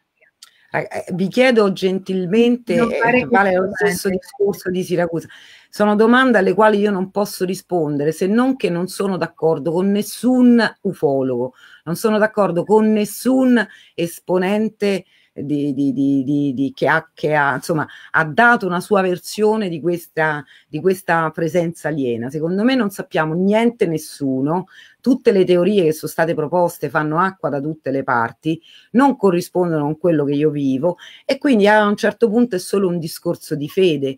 Allora uno vuol credere che quel tizio piuttosto che quell'altro dica la verità e uno li segue. Io sono abituata a non credere a niente, sono abituata a credere solo quando ci sono prove incontrovertibili e per ora sulla presenza di questi esseri io non ho abbastanza dati per poter dire con assoluta certezza no, che cosa fanno, che non li conosciamo, nessuno sa un fico secco. Abbiamo, almeno per quanto mi riguarda, qualche tessera, qualche tessera, qualche cosa che riesco a capire in maniera, in maniera logica. Per cui non posso essere d'accordo con Caria, no, che propone una sorta di religione, lui e c'è un altro, mm, come si chiama? Eh, adesso mi sfugge il nome perché Caria è legato a Bon Giovanni, sì. che poi anche loro no, provengono da, da Eugenio Siracusa. Non mi corrisponde, hanno una visione molto cristica, molto, no, di, molto religiosa che non corrisponde a quello che... Tua... Senti, ma eh, sì, ti stanno chiedendo se tu fai parte del CICAF. No, assolutamente no. Tra le altre cose, allora, il allora, il CICAP è un'associazione che è nata ai tempi, diciamo, promosse, eh, promossa da Piero Angela e all'interno poi sono entrati tanti altri no, personaggi, è nata soprattutto ai tempi in cui c'era Roll, proprio per screditare, perché questa è la funzione del CICAP purtroppo, screditare eh, i fenomeni, i cosiddetti fenomeni paranormali. Ora il problema è questo, che uno scienziato che si ritiene tale, un ricercatore che si ritiene tale, dovrebbe, dovrebbe approcciare alla, alla, questione senza avere un'idea preconcetta. Sì. Cioè uno scienziato, un ricercatore è colui che non sa, quindi vuol capire come stanno le cose le cose in un senso o nell'altro. Il problema del CICAP è che parte dal presupposto che questi fenomeni non esistono e quindi si arrampica spesso sugli specchi per fare cioè, così come ci sono quelli che credono a scatola chiusa e vogliono assolutamente no, Beh, dare. Il CICAP non crede a niente, quindi non vuole, non vuole spiegare, vuole negare.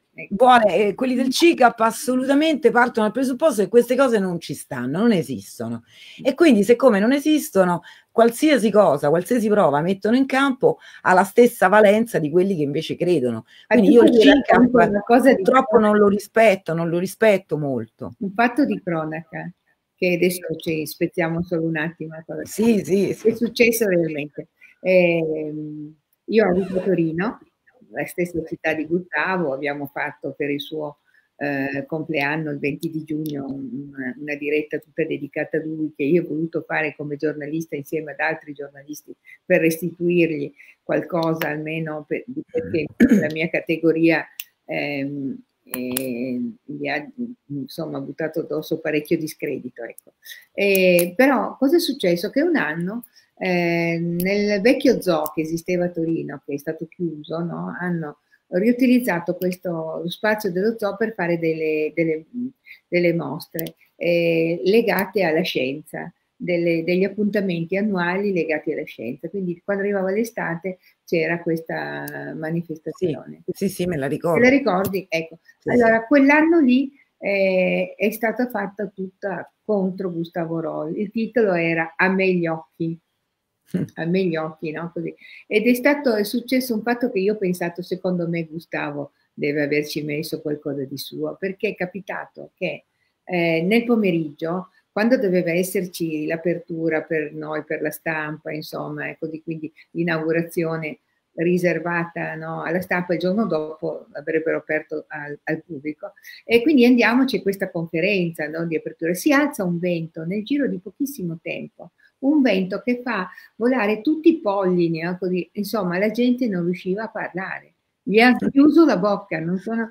Vabbè, non credo che io, per quanto mi riguarda, non credo che sia stato roll. Magari quello era un fenomeno totalmente spiegabile e naturale. Oppure tutte le persone che non erano d'accordo con questa manifestazione hanno esercitato no, il loro libero arbitrio creando una possibilità. Beh, allora, però diciamo che una cosa è stata certa, che nel momento in cui tu fai un, un atto di j'accuse, come è stato fatto in quel contesto, e tu non hai il contraddittorio perché la persona non è più qua, diciamo che non è molto etica. Ma nella realtà dei fatti eh, il problema secondo me è ancora più a monte, nel senso noi non abbiamo una scienza e non abbiamo strumentazione per poter dire in maniera inconfu- inconfutabile, incontrovertibile che quella persona piuttosto che l'altra sta mentendo o sta millantando. Quindi finché non ci saranno Siamo queste cose... No, forse abbiamo più... Mh, eh, nome, come dire, abbiamo più mh, nomenclature, abbiamo più casistiche e abbiamo esatto, ci sono più su certi fronti che non su quelli che ci, Anna, ci sono tantissime persone, ormai talmente tante cose, al di là che purtroppo il problema fondamentale è che ci, lo zampino ce lo mette anche l'essere umano, no? Perché poi l'essere umano viviamo in una situazione, in un'epoca molto particolare e il problema che abbiamo, e sono sempre quelli, no? l'essere umano non si rende conto di essere già speciale e già unico sì. e quindi lo vuole sottolineare, lo fa attraverso sì. il sesso, attraverso il denaro, attraverso l'immagine di sé. Quindi eh, eh, anche io nel mio, nel mio, settore non faccio altro che trovare gente che millanta incontri, che millanta eh, anche magari in buona fede, no? E lo fanno perché vogliono, pensano che facendo in quella maniera sono un po' speciali, sono un po' particolari, eccetera, eccetera. Quindi noi ci ritroviamo anche con tantissimi dati fuorvianti, no? Cioè queste persone non fanno del bene alla ricerca, la danneggiano talmente tanto, non c'è rispetto non c'è proprio rispetto per l'essere umano, perché questi dati, in tutti questi casi, ci potrebbero permettere di aggiungere un tassello alla nostra crescita. Se tu nel sistema immetti tutta una sequela di dati fasulli, tu, la, tu lavori per il CICAP certo, certo. involontariamente. Quindi in realtà la parola, di, la parola del CICAP ha la ste- in questo momento ha la stessa potenza che, ce che della no. persona che ti dice io ho questa esperienza. Io personalmente, personalmente no. io credo che ci siano più dati dalla parte di chi fa queste esperienze perché noi abbiamo adesso un, uno storico, una letteratura di fatti eh, di, che sono stati raccolti, guarda solo tutti i medici che raccolgono ma sono d'accordo. esperienze di NDE, cioè quando tu cominci a avere queste, questa ripetitività del, del, dato, quindi che crea un, una costante, cioè non puoi non, come dicevi tu prima, no? Quando Però... cominciato a mettere insieme con le persone che vivono le esperienze come le mie, perché voglio cercare di studiare, no? Cioè di vedere, di comparare. Però ti faccio un esempio, Anna, no? adesso questo anche da prendere un po' con le molle. Allora, io ho avuto due episodi di coma, uno dovuto a una, quando ero proprio bambina, dovuto a un'interazione di alcune medicine. la stessa cosa perché ho delle allergie ed è la stessa cosa mi è successa da, da adulta. E ho vissuto anch'io quella che viene definita no? l'esperienza premorte. Sì e mi rendo, proprio perché vivo anche tutta quest'altra, quest'altra cosa, mi rendo conto che in realtà io là non sono morta e quello è uno stato, cioè tutte le immagini che ho visto, tutto il tunnel, le luci, eccetera, cioè sono cose che può benissimo, per quello è un dato che si ripete, è buonissimo essere uno stato particolare dell'essere umano, spiegabilissimo un domani dalla scienza. Sì. Non è detto che quello che io ho visto, anzi io sono certa per quanto mi che quello che ho visto è la morte e l'aldilà, eh? quella è la persona al di là che si ferma il cuore, al di là che viene dichiarata morta, viene dichiarata morta sempre secondo i nostri canoni, eh?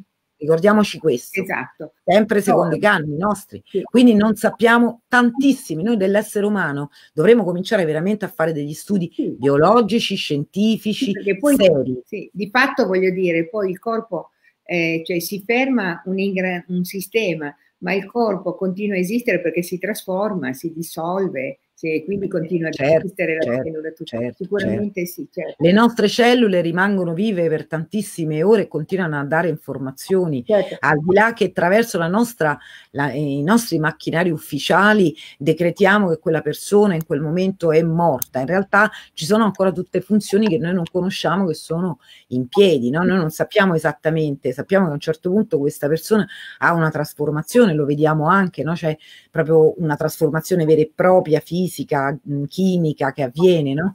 Non sappiamo niente in poche parole. Sì. Per cui io credo, no? Io credo che anche questi organi che dovevano essere, inter- potevano essere interessanti, perché è anche interessante che questi organi eh, che studiano no, queste, queste, situazioni intanto ci, liber- ci, liberano dalla fuffa, questo è sì, importante. Sì, sì, questo... Però purtroppo poi sono diventati talmente tanto... diciamo no? che c'è un aspetto molto interessante secondo me che sta incominciando in qualche modo a mo- movimentarsi, che è la visione della morte che sta cambiando. Quindi nella testa dell'uomo la visione della morte si sta modificando e almeno per quanto riguarda tanti dei nostri amici di Focus, il mistero della vita, sicuramente per le esperienze che loro vivono, tanti che hanno avuto delle mm, perdite, quindi abbandoni di persone care, no? quindi morti fisiche, però cioè la visione della morte che sta iniziando a, cambiare, a cambiare perché comunque si capisce che, che, non è morte quella, che è solo trasformazione. Allora, la, l'energia che noi siamo non può morire. Certo. Cioè, l'energia che l'essere umano, una pianta, un oggetto, qualsiasi cosa esiste è pervaso da questa energia intelligente. Questa energia intelligente, ve lo ripeto, già nel Settecento Lavoisier ce l'ha spiegato, nulla si crea, nulla si distrugge, tutto si trasforma. Ora, quindi capendo questo si capisce anche che tutto si trasforma e che quindi questa energia che noi siamo no, ha le sue trasformazioni dopo la morte. Per quanto mi riguarda, ribadisco il concetto, io penso profondamente per le esperienze che ho avuto che quando io non ci sarò più cesserà Angela, perché è legata a questo spazio-tempo. Io sono qualche cosa che trascende Angela e che veste vari vestiti sì. in varie vite. Certo. Quindi adesso sono Angela, poi sarò Francesca, poi sarò che cavolo ne so, insomma. Sì, no? Andiamo avanti con le domande perché qui... Sì, perché poi si fa tardi. Allora, c'è Maurizio, Maurizio Grasso che dice ma eh, chiede se ti sei mai eh, sottoposta all'ipnosi regressiva. Ecco, questa è, mi, fanno, mi fate domande alle quali ho già risposto nell'altra puntata, però allora, io sono, mhmm, penso intanto che i miei ricordi sono naturali e io li vivo in maniera mh, mhmm, cosciente, quindi non ho bisogno di eh, sottopormi a nessuna pratica, primo. Secondo, pratica, la pratica dell'ipnosi regressiva viene utilizzata qualora tu non hai un ricordo e viene utilizzata, intanto non è una pratica che scientificamente viene ancora riconosciuta e io dico meno male perché non sappiamo niente di come funziona il nostro cervello, poco ne sappiamo anche là, quindi molti dati potrebbero essere fuorvianti.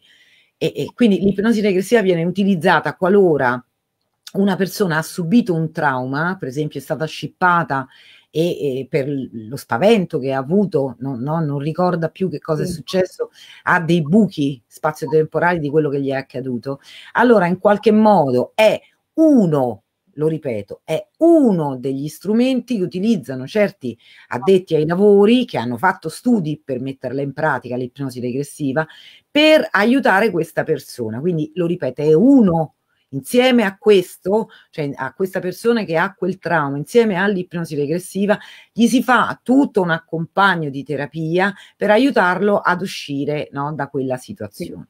Usare l'ipnosi regressiva in caso di prelevamento alieno è intanto innanzitutto fornisce dei dati fuorvianti perché quando tu metti in ipnosi quella persona in realtà noi non sappiamo ancora bene come funzionano le nostre onde cerebrali quali sono le, le, proprio le sostanze che produciamo che possono essere come ho già detto no, inerenti più a qualcosa che va a ricordare una fase REM, quindi chissà no, in quei racconti se veramente c'è la realtà o se veramente c'è un più un discorso appunto legato a queste sostanze che il corpo produce. La, l'ipnosi regressiva nel campo dell'ufologia, nel campo dell'adduzione, io proprio personalmente mi sento anche di totalmente sconsigliarla, perché tu non sai dove vai a pescare e non sai non hai la capacità, non abbiamo la capacità e la tecnologia adatta per farci capire esattamente cosa stiamo tirando fuori da quella persona. In più, come ho già detto, noi siamo energia, abbiamo vissuto magari tante altre vite, può succedere che in ipnosi fatalità, si risveglia quella memoria, perché noi siamo un insieme di DNA che codifica dei programmi.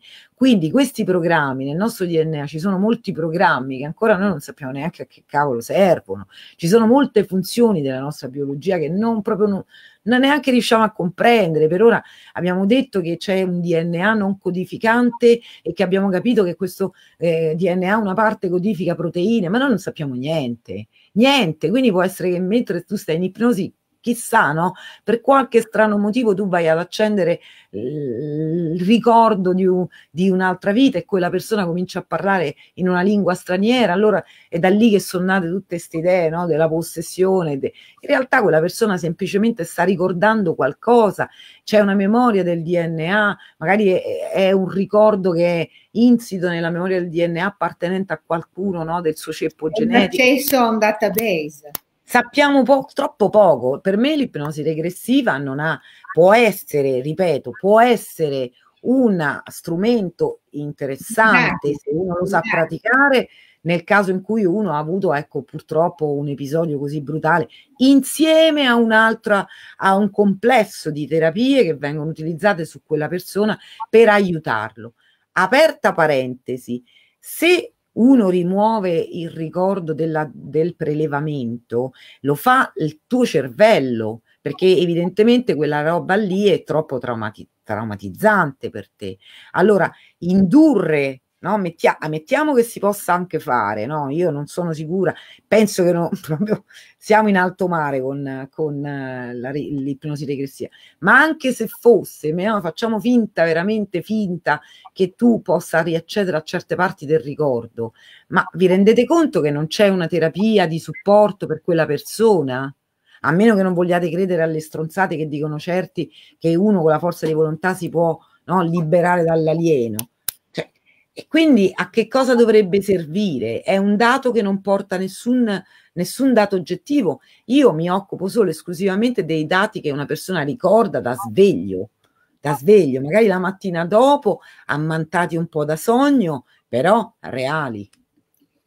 Sì, l'ipnosi regressiva comunque, voglio dire, è un campo di ricerca che anche questo, cioè è in work in progress, e, insomma sono già parecchi anni che ci... Dovrebbe, dovrebbe andare in parallelo con le scoperte scientifiche, cosa che non si fa, perché i vari, i vari, studiosi non parlano tra loro, no? Guardate quando uno va dal medico, ti fa male, che ne so, un braccio, vai dall'ortopedico, poi ti fa male la circolazione, vai da un altro. Quando noi siamo tutt'uno, quindi ci dovremmo, no? Queste persone dovrebbero parlare tra loro. Solitamente, chissà, per esempio, de, de, de, delle ossa. Sì, però sai che ci sono comunque delle mh, a livello storico, noi abbiamo visto come ogni mh, nuova indagine, ogni nuovo campo di indagine ha sempre vissuto una sua epoca di pionierato che è ha portato appunto a tutti i punti interrogativi, come stavi dicendo tu prima. Certo, noi siamo in un'epoca di pion- pion- in epoca di pionierato. Ecco, pionierato però molto illogico, permetti di dirvelo, di, di fartelo dire, per me è molto illogico. Eh, ehm, cioè finché la scienza non parlerà anche un linguaggio veramente da ricercatore eh, tutte, tutte, queste questioni sono nelle mani di persone che purtroppo bisogna dirlo nella maggior parte dei casi millantano e fuorviano la ricerca purtroppo quindi si basano molto questi ricercatori sulle necessità dell'ascoltatore di essere in qualche modo rassicurato no? quindi si fa un'opera di questo tipo qua e poi diciamocela chiara c'è anche un discorso di lucro perché non ci dobbiamo nascondere raccontando no, per fiaschi. Qua ci sono delle persone, poi ognuno è libero di credere quello che vuole, no? però ci sono delle persone che addirittura fanno ipnosi regressiva per terza persona. Poi se uno ci vuole credere, ma per me potete credere pure all'asino che vola, però credere no? che tu stai sì. in un'altra città, uno ti vede in videocamera e ipnotizza l'amico suo o l'amica sua perché parla per te, insomma io qua a un certo punto alzo veramente le mani. Poi insomma uno è libero di fare con i propri soldi e con le proprie, col proprio credo quello che vuole, però non venite a dirmi che poi devo prendere in considerazione questo tipo di dati perché mi fa ridere la cosa. Sì. Senti, eh, vado avanti con le domande. La sì. Donatella Conti eh, ti chiede, Posso chiedere se Angela ha saputo l'origine planetaria di queste razze? Sì, ogni tanto qualcuno di loro qualcosa mi ha detto, ma siccome io non ho l'astronave non posso verificarlo, quindi prendo con le molle, neanche divulgo questa informazione che non ha secondo eh, me detto, però ovviamente tu dici nessun senso, non sono sicura che è vero, come faccio a saperlo? non ho l'astronave, sì. non lo so. Tu hai mai quindi... registrato Angela delle tue conversazioni? no, non mi ha permesso, non, se, non, non, non, si può fare questa cosa. Sì, sì, va bene. E quindi anche di che cosa voi parlate? Di certe cose sì, altre cose no, presumo. Normalmente funziona che io faccio delle domande, chiacchieriamo, se nella mia domanda la, la, loro mi chiedono che cosa ne penso, sì.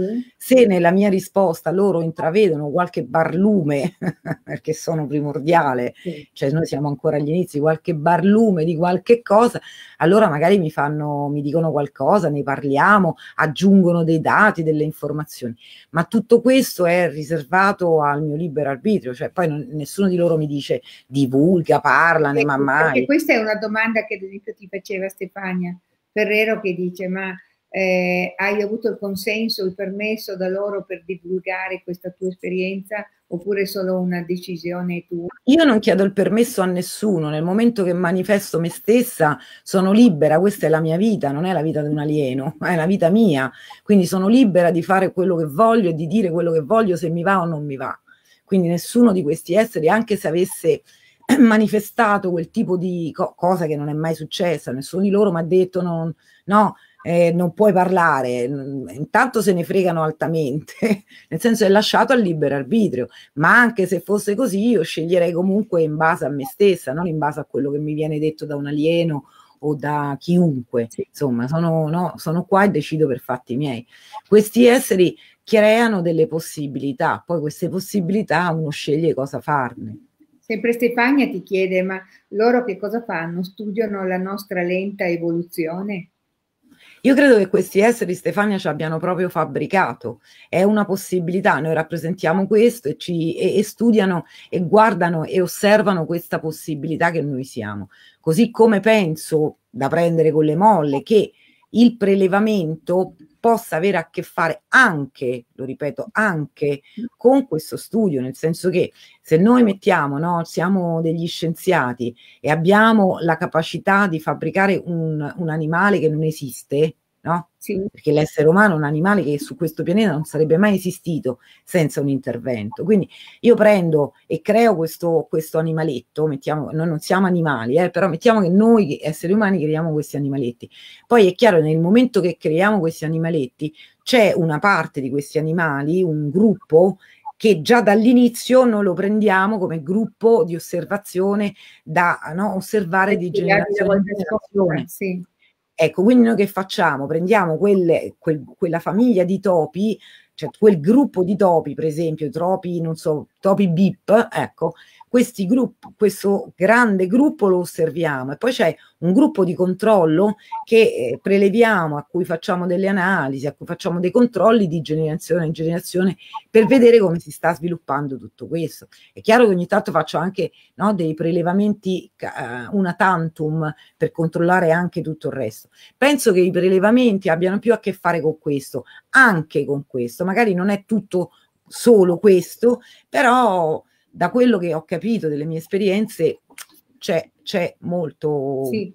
molto della ricerca, insomma. Chiede Roberto Mengoni, la volta scorsa ti aveva chiesto eh, se questi esseri alieni con cui tu hai contatti eh, ne, ti fanno anche delle premonizioni, delle profezie, delle anticipazioni comunque dei fatti che eh, dovranno succedere.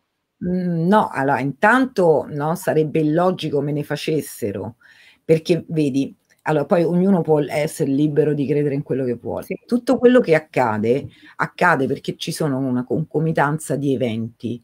Quindi tutti questi eventi che si svolgono in uno spazio-tempo ben preciso danno luogo a delle possibilità. Nel mio libro l'ultimo capitolo l'ho dedicato proprio a questo argomento qua. Quindi se uno avesse a disposizione un supercomputer, mettendo all'interno tutti questi dati, si avrebbe una possibilità, una previsione abbastanza no, attendibile o meno in base ai dati che tu hai messo dentro di quello che potrebbe essere un possibile scenario. Questo tipo di studi noi li effettuiamo per, per esempio per quanto riguarda la meteoro, meteorologia e già da qua capiamo, no? visto che non ci azzeccano quasi mai, quanto siamo ancora ai primordi rispetto a questo tipo di eh, analisi di, di, di scienza. Io credo che il nostro cervello, per esempio, sia un computer ultra mega sofisticato che durante la propria esistenza, durante la propria giornata, assimila dati attraverso i sensi, attraverso la vita della persona, ma anche attraverso i campi morfogenici e tantissime altre no, forme che ancora noi non conosciamo. Quando noi dormiamo, a volte, a volte succede che questa elaborazione il cervello la fa in uno stato, diciamo, quantico, lo fa in una certa maniera prendendo tutti questi dati dal mondo che ci circonda e dà luogo a una possibilità molto, molto eh, diciamo vicina alla, alla, realtà, a una possibilità diciamo vicina all'80%. Che cosa succede? Che questa essenza a un certo punto parla a te e lo fa attraverso i sogni e attraverso i sogni quindi manifesta degli archetipi, no? attraverso degli archetipi ti parla e quindi tu avrai un sogno premonitore, come a me è successo molte volte, ne parlo anche nel libro, io ho avuto una esperienza molto particolare anche in questo senso mi è stata, cioè ho visto la morte di mio padre molto prima che succedeva con l'esatta data e via dicendo, vabbè, un discorso un po', un po più complesso da poter affrontare così in maniera semplice, no? Però che cosa succede? Che a un certo punto durante il sogno tu appunto hai nel sogno una figura a te eh, diciamo legata alle tue credenze, quindi nel mio caso non era un morto, no? però ci stanno le persone che vedono la nonna, la zia, eh, un parente qualsiasi che gli viene nel sogno e gli racconta quella cosa e poi quella cosa si avvera. Questa cosa qua, secondo me, avviene con questo meccanismo, cioè proprio nel tuo cervello a un certo punto entrano in funzione queste cose e tu hai una premonizione. Ora, ovvio che questi esseri hanno a disposizione delle capacità tecnologiche inimmaginabili. Vi voglio ricordare che ci sono delle razze che hanno almeno un miliardo di anni avanti a noi e questa è la scienza che ce lo dice, è ipotizzato dagli scienziati ufficiali che il nostro universo può essere benissimo essere popolato da eh, so, da società, quindi da esseri che hanno almeno un miliardo di anni avanti a noi. No? Quindi è chiaro che con queste capacità, visto che ci hanno addirittura fabbricato, non solo loro sanno tutto, ma sono anche in grado di prevedere con una buona, con una buonissima percentuale quelli che sono gli eventi futuri. Ma, e questo è un discorso che ho fatto anche con loro, nessuno conosce il futuro perché il futuro si crea nel momento in cui c'è il presente che dà luogo a delle possibilità. Quindi anche quella possibilità che viene conosciuta al 99,9% c'ha sempre lo 0,001 no, è un per cento che non si verifichi. Sì. Quindi nessuno mai potrà dare un azzardo di ipotesi concreta, reale e, no, e, e sicura. Ci sono possibilità. Sì. Eh, Graziella Tucci che riferito al discorso delle regressioni, domanda, ma quindi Brian Weiss non ha capito niente? Io non sono semplicemente d'accordo con loro. È chiaro che tu, no? Allora, mm, Graziella, se tu mettiamo che su questa terra non esiste il mare, nessuno l'ha mai visto, quindi arrivano tre persone e ti dicono il mare è rosso, poi ne arrivano altre tre e ti dicono che il mare è, che ne so, giallo canarino. Poi ne arrivano altre tre e ti dicono no, no, il mare è fatto di sassi e siamo a nove persone. Poi te ne arriva una e ti dice che il mare è blu. Mm? Allora, tu hai tante possibilità in base a quello che tu credi. In base a quello che tu credi, tu darai credito ad alcuni piuttosto che a altri. Tutti questi ricercatori il mare non l'hanno mai visto non sanno che cos'è il mare. E quindi come fanno a capire chi è che dice la verità o chi non la dice?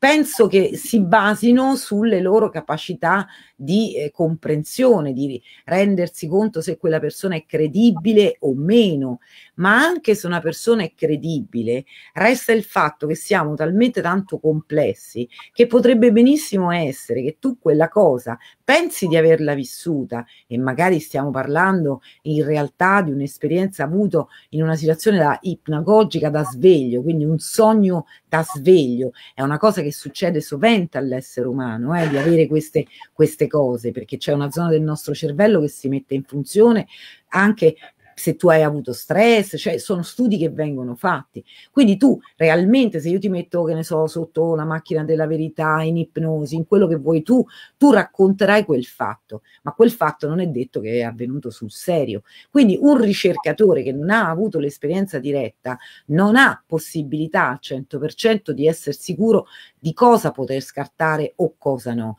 Potrebbe anche essere che il 90% delle persone credibili che sono andate da lui a raccontargli delle cose, no? Magari queste persone qua non è detto che hanno visto veramente il mare e lui quindi fornisce un'informazione dandola per certa che non è detto che sia così. Faccio un esempio. Allora, c'è qui molti ricercatori che parlano di rettiliani, di rettili, di forme sauroidi. Ora, io nella mia vita, e ho insomma abbastanza anni e sono prelevata da quando ero bambina, sono stata portata in molte basi, in molti posti, insomma velivoli, eccetera, eccetera. Io ho visto tantissime altre razze, non solo quelle che si occupano dei prelevamenti, ho visto anche tante altre razze. Resta il fatto che anche queste altre razze, nessuna di loro è sauroide e nessuna di loro è rettiliana, nessuna di loro ha una forma da, se, da che ne so, no? da, da, da coccodrillo no? Resta il fatto che qui ci sta tanta gente che dice di vedere coccodrilli e c'è tanta gente che ci fa ricerca sopra. Io non so che cosa hanno visto, anche perché è illogico che qualcuno fornito, per esempio, no? Cioè qualsiasi civiltà non è che nasce già con la tecnologia che ti permette di, di fare i, i viaggi inter- interspaziali, intergalattici. È chiaro che qualsiasi civiltà ha avuto un suo sviluppo e per avere quello sviluppo stiamo parlando di questo mondo della materia, cioè gli elementi che sono presenti sulla nostra terra, sono gli elementi che sono presenti in tutto l'universo. Quindi se uno creerà a un certo punto un computer, lo farà magari con una materia diversa dalla nostra, però sempre materia è e per poter fare quello significa che ha avuto uno sviluppo che gli permette di usare le, le dita e lo sviluppo per usare le dita, tutte le dita, cioè per arrivare a quel tipo di sviluppo, noi l'abbiamo già capito che servono tutte e cinque due. Quindi qualsiasi essere che si sviluppa e che arriva a fare viaggi intergalattici avrà una conformazione umanoide perché è la logica della materia di questo universo, con buona pace di tutti, è la logica di questo universo, va bene?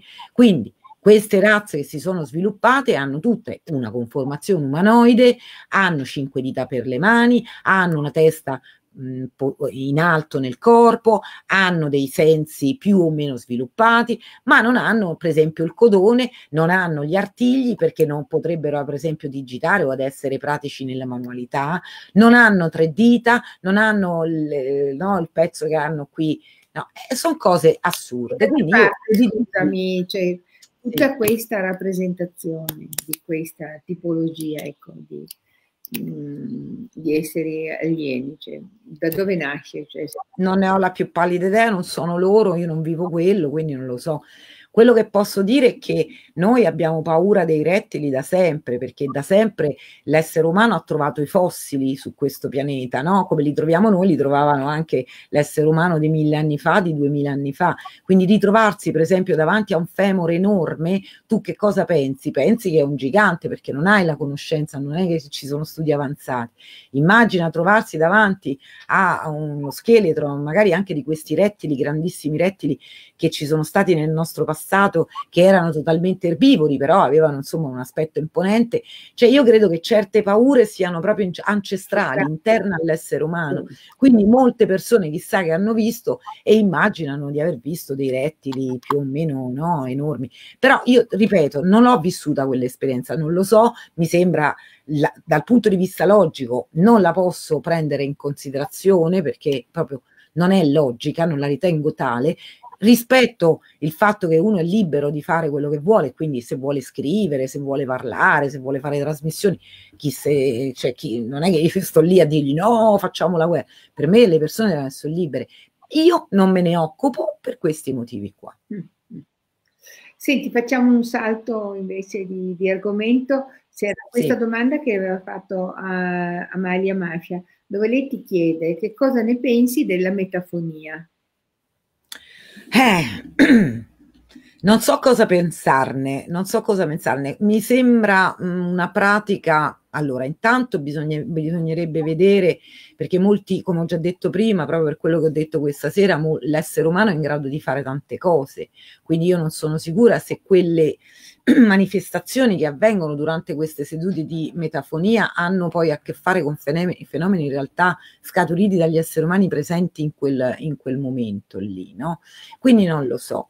E ritengo che tutta la strumentazione inventata finora non mi convince, non mi convince per nulla. ritengo tutta questa strumentazione ancora non abbastanza efficace per portare prova di avvenuti contatti con questo che è mondo altro. Vi dirò, anch'io ho delle registrazioni fatte da me proprio, no? nel momento in cui si manifestavano certe cose, ma non le prima di tutto non le, rendo, non le rendo pubbliche perché non so esattamente cos'è che si è manifestato. Mm, non, è, non, non, non, so, io credo diciamo che anche che lì... c'è un aspetto che secondo me invece è molto significativo in quello mm. l'esperienza della metafonia, che per quanto riguarda la ricerca. Eh? Eh, e secondo me eh, quando ci sono i riscontri ecco, tra le cose ma che tipo di riscontri hanno? Quello rilevate è. durante cioè, la metafonia, per cui magari cioè, vengono dette delle cose. Per cui... Hai bisogno di bere, Angela? Eh sì, mi ha aspettato un secondo. Certo, certo. certo. Intanto, io, proprio... sì, sì, intanto io ne approfitto per ringraziare i nostri amici perché sono un po' tantissimi, veramente li ringrazio Scusate, ma fa veramente caldo e ogni tanto mi si asciuga la gola. Io sono qua col 20. Guarda, questi fenomeni, questi fenomeni è una cosa è certa. Esistono dei fenomeni non spiegabili con la scienza ufficiale. Che, mh, mm, che tipo di fenomeni? Quello lo dobbiamo ancora capire. Torno a ripetere, queste forme, compresa la metafonia, compresa la metafonia, non mi danno assolutamente certezza. Quindi è una cosa embrionale molto interessante, no? Ci sono tante no, persone che fanno ricerche. Che è una cosa che devo dirti che aiuta tantissimo le persone. Perché... Ma che aiuta non metto in dubbio, io sto parlando di ricerca però, eh. qua distinguiamo. Io non ho niente, che, non ho niente in contrario eh. alle, alle, cose che l'essere umano fa per vivere meglio, le faccio anch'io, ho anch'io le mie credenze, le mie, i miei rituali che mi fanno col tutto che so che sono no, giochi per quanto mi riguarda, per quanto mi riguarda so benissimo che sono giochi, però magari ogni tanto ne faccio anch'io, no? Mm. Resta il fatto che eh, suddivido quindi un conto è quello che uno sente di voler fare perché lo fa stare meglio, perché ognuno è libero di credere in quello che gli pare, nessuno ha la verità, neanche io, nessuno. Però un conto è quello e un conto è l'altro. Cioè, se da una parte ci sono persone che magari vivono queste esperienze, hanno una serie di riscontri, hanno, soprattutto quando io ti dicevo aiuta molto, tu giustamente mi dici sì, ma la ricerca è un'altra cosa, sono d'accordo mm. con te, la ricerca è un'altra cosa. Però una cosa è certa che nel riscontro che io vedo eh, praticando, anche andando in giro, insomma, un po' per i convegni e tutto, cioè ci sono delle realtà che sono molto, come dire, eh, credibili, che hanno, eh, credibili tra virgolette, nel senso che eh, c'è questo elemento che è quello del riscontro, che fa sì che in qualche modo comunque la mente dell'uomo riesca ad essere appagata in quelle che sono le sue richieste, no? Cioè di sapere che, ad esempio, sapere che in qualche modo esistono queste persone che hanno lasciato il corpo, in qualche modo esiste quello che tu chiami, no? Cioè un'energia, no? Cioè, eh, Brollo lo chiamava lo spirito intelligente, per esempio, no? Ognuno li chiama, lo chiama come vuole, però di sicuro c'è sempre no, questa frontiera. Eh, sì, ma il mio, il mio, fare va in una direzione totalmente diversa, nel senso che per quanto io mi, rendo, mi renda conto che certe credenze sono molto consolatorie, sì. Sono d'accordo con te, però eh, eh c'è una, il discorso è questo, dipende sempre da che cosa vuoi. Allora, tu vuoi credere o vuoi sapere? Ecco, io faccio parte delle persone che vogliono sapere e per cui, siccome voglio sapere, cerco di, di, anche di mettere in pratica il buon senso e la logica logica. Quindi io quando frequento queste associazioni, quando assisto a queste pratiche, ti assicuro che nella mia vita, eh, allora, quello che posso dire è che effettivamente succedono delle cose, dei fenomeni. Mm. Che tipo di fenomeni ancora non lo sappiamo con certezza. Se questi fenomeni hanno a che fare con noi esseri umani, non lo so ancora, anzi la maggior parte di quelli a cui ho assistito di persona hanno a che fare con gli esseri umani, cioè quindi sono cose che facciamo noi, non si sa in che modo ancora, mi è capitato, perché lo vivo, di avere a che fare col mondo altro e mi rendo conto che quella cosa lì non ha a che fare con me, non è una cosa che faccio io, non è una cosa che scaturisce da me, è una cosa che esiste di sé e ho visto, ho anche assistito più e più volte a fenomeni invece mm, di manifest- manifestazioni, diciamo, di forme di energia. Mm. Ok? Ora, che cosa sono, ma chi lo sa, dobbiamo, dobbiamo studiarlo, chiaro? Allora, siccome io ho un approccio logico, scientifico, cer- vado, cerco di andare in quella direzione, purtroppo devo mettere da parte l'aspetto consolatorio, va bene? Col tutto che non ho niente a che fare, cioè non ho niente in contrario a chi sceglie di frequentare, di informarsi di questi aspetti in quel senso lì. Ecco, in quel senso. Io non lo, cioè se le persone, in poche parole, se le persone vengono da me, te lo dico chiaro e tondo, per sapere no, se esiste il suo caro defunto, cioè a me, anche, anche a me è morto mio padre, eh, è, cioè tutti noi abbiamo delle persone che sono mancate, no? Tutti noi vorremmo sapere no, con assoluta certezza come stanno le cose. Purtroppo la scienza ancora non ci aiuta in questo senso. Ci sono delle ipotesi, delle teorie. Ecco, io voglio sapere come stanno veramente le cose. Quello che ho capito è che mio padre, quindi per quanto riguarda me, mio padre non c'è più, non c'è più lui, il vestito che indossava è cessato, ma non è cessata l'essenza che è mio padre, quella è una cosa eterna.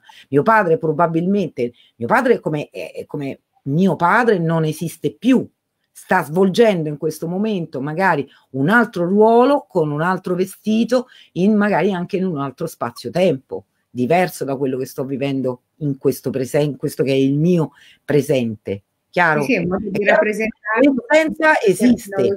Ora poi se qualcuno mi viene a dire che, mm, che ha parlato con mio padre, ecco te lo dico chiaro e tondo, se, perché è successo anche questo, che qualcuno viene qua a dirmi che ha parlato con mio padre e che mi ha, io mm, mi dispiace, so che non è così. Quindi quello che quella persona ha carpito può essere solo che informazioni che derivano dal mio, dalla mia no? dal mio cervello, dalle mie, dal, dai dati che sono di mio padre immagazzinati in me, ok? Che lei, ha, o lei o lui ha ricevuto, può aver avuto accesso a quella che è appunto i campi morfogenici. Può succedere, certo, dove dei campi morfogenici può... Ma ti dirò, allora, da bambina, io l'ho raccontato nel mio libro, no? A un certo punto è morta una mia cugina, eravamo molto piccole, eh? ti dico 6-7 anni, più o meno quell'età là per capirci. E a un certo punto, sai, c'erano queste veglie per cui eh, vengo portata, c'era mia madre, no? i miei parenti in questa, in questa, casa, noi bambini, tutti piccoli, in cucina a mangiare dolci, a essere... Non è che capivamo bene che cosa era successo, avevamo capito che era mancata qualcosa, che qualcuno se n'era andato, che era nostra cugina, però sai, quando sei bambina non c'è... Esatto.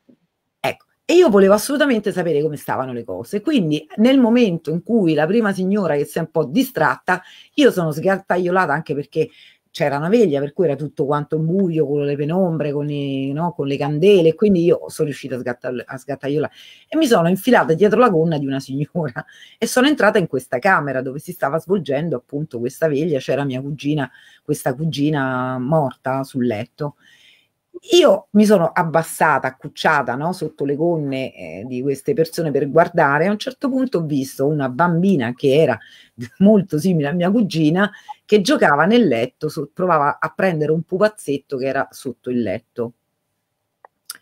Io mi sono allungata per prenderglielo, questa bambina si è girata e mi ha detto: Ah, ma tu mi vedi? Mi aiuti a prenderlo che io non sono capace? E io ho fatto per allungarmi per prendere questo pupazzetto e darglielo. E a un certo punto, in quel momento, una delle signore presenti, pensando che io mi volessi appropriare del giocattolo di sta bambina, mi ha presa e mi ha portata via. Io non so che cos'è che ho visto, quello che posso assicurarti è che mia cugina era morta e lei non c'era più. Sì. Non c'è più. Quello che ho visto probabilmente è l'energia residua no? di questo vestito che eh, mia cugina era appena andata, quindi questo vestito ancora in qualche modo era no, in corrispondenza al mio spazio-tempo e ancora la vedevo. Però se uno mi chiede che in questo momento io posso parlare con mia cugina che è morta tre, 40 mm, anni fa, 40 anni e passa fa, cioè io ti dico di no. Va bene, però ognuno deve essere libero di credere in quello che vuole, di credere in quello che, che desidera. Certo, certo, certo, sì, sì, no, qua appunto mi stavo, stavo leggendo un po' di commenti, poi un mm. po' di disquisizioni, ecco, del, tra le persone, insomma, così del gruppo. Sì, certo, qui dicono la, la metafonia è un argomento molto trattato su Focus. Beh, sì, è vero, su Focus noi abbiamo delle persone eh, che trattano la metafonia e hanno delle testimonianze eh, molto importanti. Quindi, Ma queste sperimentazioni ben vengano, da qualche parte dovremmo pur partire. Eh? cioè io ho visto, cioè, ho visto che appunto ci sono proprio dei riscontri, di sicuro, cioè il discorso è capire che cosa stia avvenendo davvero, quindi questo mm. riscontro scientifico, è una cosa.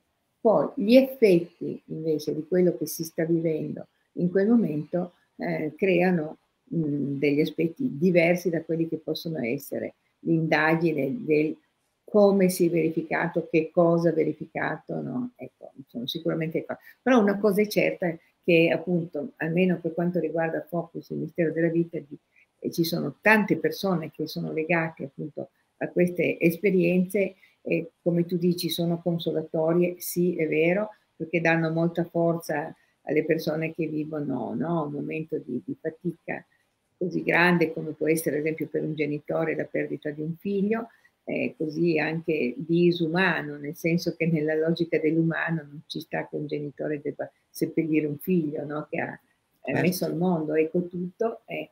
Poi rimane, ripeto, c'è quel punto interrogativo dove eh, da un punto di vista scientifico, secondo quelli che sono i canoni e, e, e i protocolli della nostra scienza, però noi non sappiamo io ad esempio mi pongo molto questa domanda, se i canoni che vengono usati, eh, i protocolli che vengono usati per fare la ricerca siano quelli giusti per fare la ricerca, ad esempio. Io, questa è una domanda che mi pongo tante volte. Ah beh, sono d'accordo con dire, te. Potremmo ridisegnare tutta la scienza, ecco, e capire che se noi... Ci sono molte cose che andremo, dovremo... Arriveremo anche a degli altri risultati, ecco, no, magari ma noi inventeremo strumenti che adesso neanche concepiamo.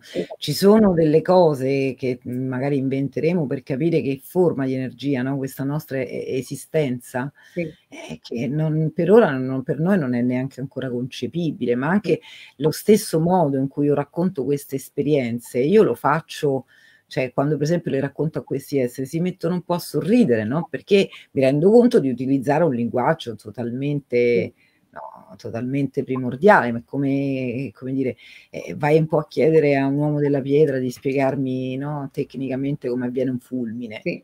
E io sorrido perché vedo i nostri amici che si stanno, poi leggerai tu tra i commenti. Sì, sì, con calma, domani verrò a leggere. Devo dire che è molto interessante tutto questo perché ci conferma proprio quello che eh, stai dicendo tu, che noi abbiamo veramente bisogno, no? Cioè, c'è chi crede una cosa la, e la vede in un modo, c'è chi la vede in un altro, c'è chi ha eh, una sua certezza, c'è chi non ce l'ha, c'è chi ha delle presunzioni, anche chi ha delle arroganze. Ma sì, certo. Ecco, è bello perché se questa sera vedo che si è articolato, no? Ci tengo a dire una cosa, allora intanto io credo che l'essere umano sia sulla terra per fare due cose, sconfiggere il dolore e sconfiggere la sofferenza. Quindi in quest'epoca in cui purtroppo no, la scienza non ci aiuta a capire come stanno le cose, è ovvio no, che abbiamo bisogno anche di eh, qualcosa che ci possa far andare avanti e quindi che ci siano delle cose in qualche modo consolatorie, no? che ci siano, io mi ho per esempio una grande sofferenza che ho avuto nella mia vita molto forte è stata la morte di mio nonno perché io cresciuto, sono cresciuta fino a 18 anni con lui. Io non sono riuscita ad andare al funerale ancora adesso, non riesco ad andare al cimitero e io mio nonno me lo immagino partito, ancora adesso me lo immagino partito quando penso a lui, io lo penso vivo e lo penso che sta facendo un viaggio, no? E quindi ogni tanto penso a lui in questo. Ognuno nella sua testa è giusto che si metta le cose come meglio lo fa sopravvivere, perché sono dei dolori indicibili.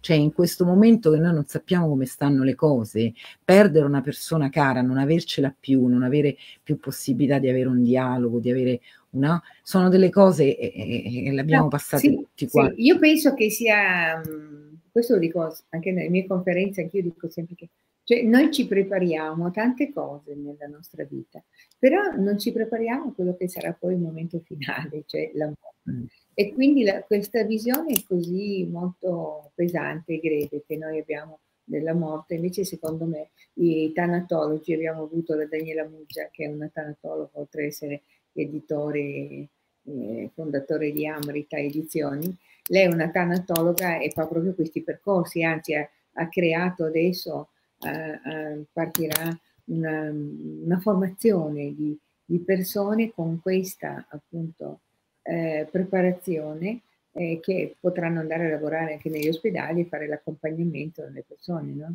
Che hanno sì, sì, sì, ho capito che cosa stai. Ecco, e cioè il discorso. Secondo me, il discorso, quel discorso lì poi della morte si apre un capitolo. Il discorso della morte è incredibile perché quella è la paura atavica, cioè eh, so, tutto quello che... Tutto quello, sapere cosa succederà dopo? Tutto quello che noi non, non riusciamo ad accettare della nostra esistenza, tutto quello che ci terrorizza al punto, anche per esempio no, tutte le teorie folli che sono uscite fuori su questi esseri, è sempre la paura che ci, ci spinge, no? l'ignoto, la cosa che non conosciamo e quindi ci mettiamo dentro le nostre credenze, le nostre paure, dietro quell'angolo si immagina il mostro, no? perché non lo conosci. Psicologicamente la paura più grande che ha l'uomo è quella di morire e non sapere che cosa succederà dopo. Quindi il rapporto con la morte è, fortemente, è direttamente proporzionale con quella che può essere la nostra visione della vita. Beh, diciamocela chiara, no?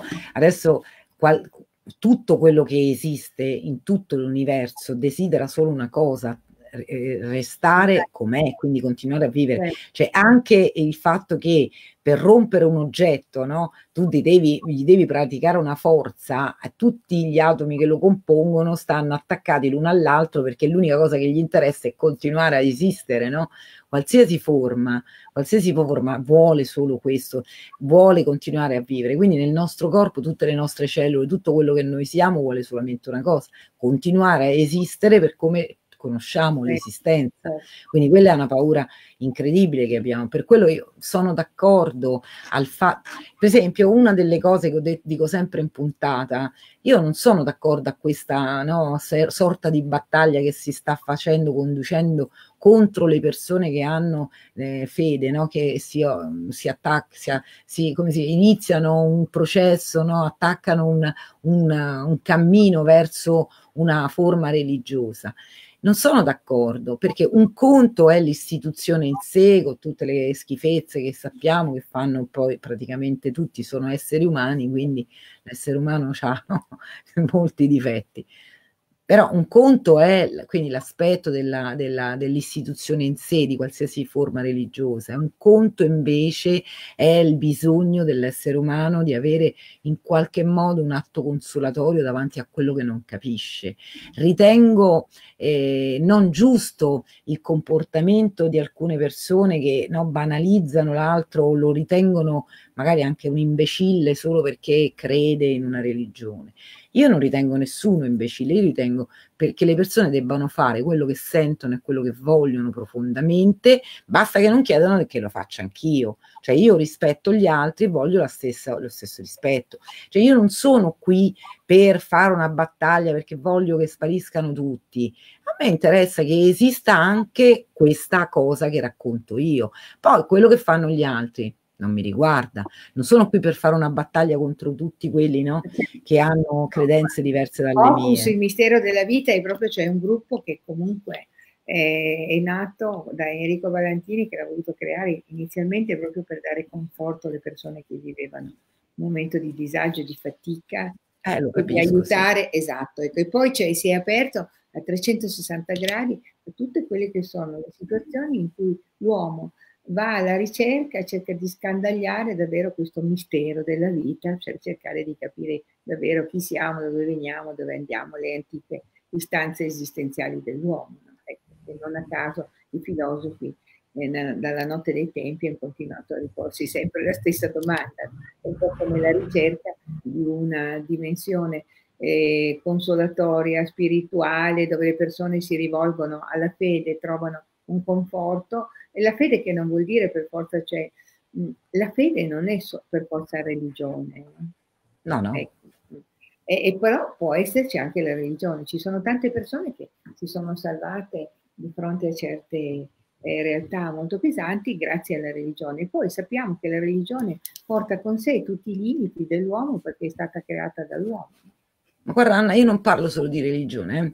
cioè ehm, proprio distingo, distingo la necessità che ha una persona che sta passando un lutto, che sta passando un momento particolare, quella è una cosa. Però non posso accettare il fatto che esistono persone che di questi dolori, di questi bisogni che ha l'essere umano ne fanno un lucro, ne fanno un gioco, ne fanno una spettacolarizzazione, ne fanno un uso improprio del dolore altrui. Quelle persone mi fanno veramente schifo non so che altro termine usare. Cioè l'utilizzo della speculazione, della sofferenza altrui è qualcosa che mi disgusta profondamente è una cosa che mi disgusta profondamente. Ecco, il, il, dolore che l'altro prova, il dolore che l'altro prova è qualcosa che proviamo tutti quanti, ci dovrebbe accomunare, no? Accomunare. Quindi qualsiasi forma di conforto una persona riesce a dare all'altro, ben venga, che sia la religione, che sia uno stare insieme, che sia un conforto, che sia anche, guarda, ti dirò, anche venire a dirti, guarda, ho parlato no, con la persona che, che tu hai perso, mi sta bene tutto L'importante è che non se ne faccia un, un uso improprio no? del dolore altrui. Ecco, c'è una domanda interessante qua rispetto alla morte. Rossella, Rossella Liano che dice, gli extraterrestri conoscono il mistero della morte? Eh, l'ho già detto all'inizio, forse ti sei persa. Hai parlato, Dani? L'ho detto mezz'ora fa, lo, penso che tu te lo sia perso. Ovviamente sì, perché tutto quello che esiste in questo universo è qualcosa che è spiegabilissimo, ha una, una motivazione, quindi c'ha un meccanismo, c'ha una conseguenza. Quindi è, è, ovvio che loro sanno assolutamente tutto, così come conoscono il mondo altro. Io una volta, più di una volta, ho provato a chiedere informazioni in questo senso, qualcosa mi è stato detto, qualche altra cosa no, e una volta uno di questi mi disse, ma voi ancora non avete ben capito come utilizzare no, le scoperte che ha fatto Einstein di no? utilizzarle per capire come funzionano i piani. Quindi questa parte... Piani, per noi nel senso i piani dell'esistenza? Sì, il mondo altro, ad esempio, no? Sì. Cioè, no, noi un domani capiremo queste cose perché sono leggi, cioè tutto quello che e esiste. Per adesso noi lo viviamo ancora come... Non lo viviamo con un aspetto magico. Esatto eh, con un aspetto, insomma, utilizziamo certi termini, paranormale, piani altri, mondo altro, altri piani esistenziali, vibrazioni, utilizziamo tutti questi termini che non hanno, no, sono in realtà termini così. Un domani avremo anche delle spiegazioni no, scientifiche e così come prima pensavamo che erano gli dei che scagliavano i fulmini sul nostro pianeta, adesso sappiamo che ci stanno no, delle reazioni che succedono alle particelle che stanno in aria, no? alle nuvole, eccetera, eccetera, che scaturisce quel fenomeno.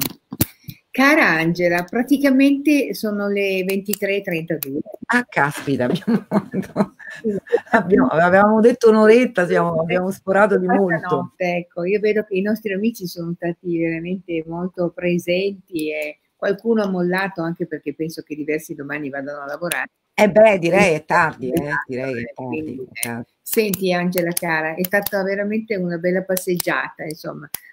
Io ringrazio te di avermi invitato, ringrazio ancora Enrico per questo, per questo canale. Grazie a che ci hai dato del tuo tempo prezioso.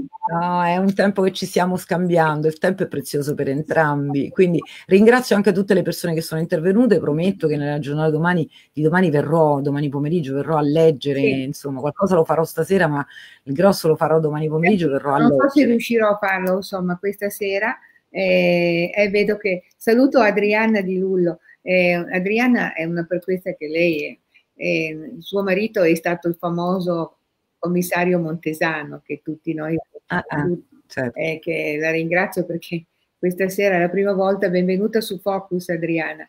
E, mh, mm, vedo che i nostri amici stanno iniziando appunto a, a, salutarci. Sì, io una cosa che ricordo a tutti quanti voi, che è presente su YouTube un canale che si chiama come me, cioè il mio canale Angela Stella La Rosa. E prima ti hanno già fatto tutte le cose. Ah, grazie, ecco, ringrazio tutti i, no, i, miei ascoltatori, per cui lì troverete eh, tantissimi video, perché ormai sono due anni che vado in onda, sono purtroppo puntate che durano anche tre ore, magari ascoltatele random, adesso sto facendo tre, sto, ce ne sono ancora solamente tre, tra le altre cose ci sono tradotto in varie lingue, ci sono tre piccoli video di 10-20 minuti che spiegano un po', sto cercando di fare questo, nel succo, però sul canale sono presenti tante puntate suddivise per tema, quindi ci sono anche dei ricercatori che vengono a trovarmi con cui chiacchieriamo di questi argomenti. E vi ricordo... Che Angela, eh, organizziamo di fare un incontro eh, anche con altri ricercatori, movimentiamo un po' perché serve no, per la ricerca. Guarda, io, io, io, non, allora, io faccio già il mio sul mio canale, ecco, quello che fai tu, io se tu mi inviti, certo. se ritengo insomma di essere libera quella sera, molto sì, volentieri, non mi chiedere di darti una mano perché... No, certo, no, no, no, carità, assolutamente. Però è bello cioè, riuscire cioè, a confrontarsi e a scambiarsi appunto. Ah, quello, quello assolutamente sì. Per cui chi vuole, io il venerdì sera alle ore 22 vado in onda, quindi se volete ci rivediamo in diretta venerdì prossimo. Va bene, allora noi invece ti diamo appuntamento al prossimo salotto di Anna, vedremo quando strutturarci, insomma, e organizzeremo Beh, ma no, non c'è, non lo sveli che c'è anche, insomma, ci sono vari ospiti, no? Io sono curiosa, mercoledì prossimo chi c'è, no, eh, spero che tu no, lo faccia sapere eh, Tra due settimane viene una persona che eh, sicuramente, insomma, sarà molto... Ma io voglio lasciare la sorpresa, eh. Fai bene. Una cosa volevo dire, Anna, se me lo permetti. Allora, il mio libro, eccolo qua, che è possibile, aspetta, eh, ecco qua, ecco. Aspetta, Alieni umani. Si chiama Alieni Umani, una questione di contatto ed è, lo potete prendere su tutti i circuiti online, quindi Amazon, no? Lo potete anche chiedere a me nel caso in cui lo voleste con l'autografo, insomma, mi, mi scrivete in privato. No, lo faccio perché Anna, io non lo faccio mai e mi rendo conto che effettivamente devo fai, esatto, sì. No, anche perché adesso, adesso a fine adesso... penso a me a metà agosto ne uscirà, uscirà un altro in realtà eh, quando, quando, scrivendo eh. sì, quando esce vieni e pre- ne, ne, parliamo eh sì, sì, sì, volentieri, volentieri. qua su Focus, va bene. Allora, va bene. Saluto affettuosamente tutti quanti, vi ringrazio. Notte sogni limpidi. Notte anche a te, grazie Angela Cara, grazie a tutti i nostri amici. Eh, è stata una bella serata, eh, spero che voi siate stati bene. Eh, vi do appuntamento a mercoledì prossimo con la, il prossimo uh, salotto di Anna. Buonanotte e grazie ancora per la vostra Grazie Anna. Grazie a te, grazie Angela. Ciao. Ciao.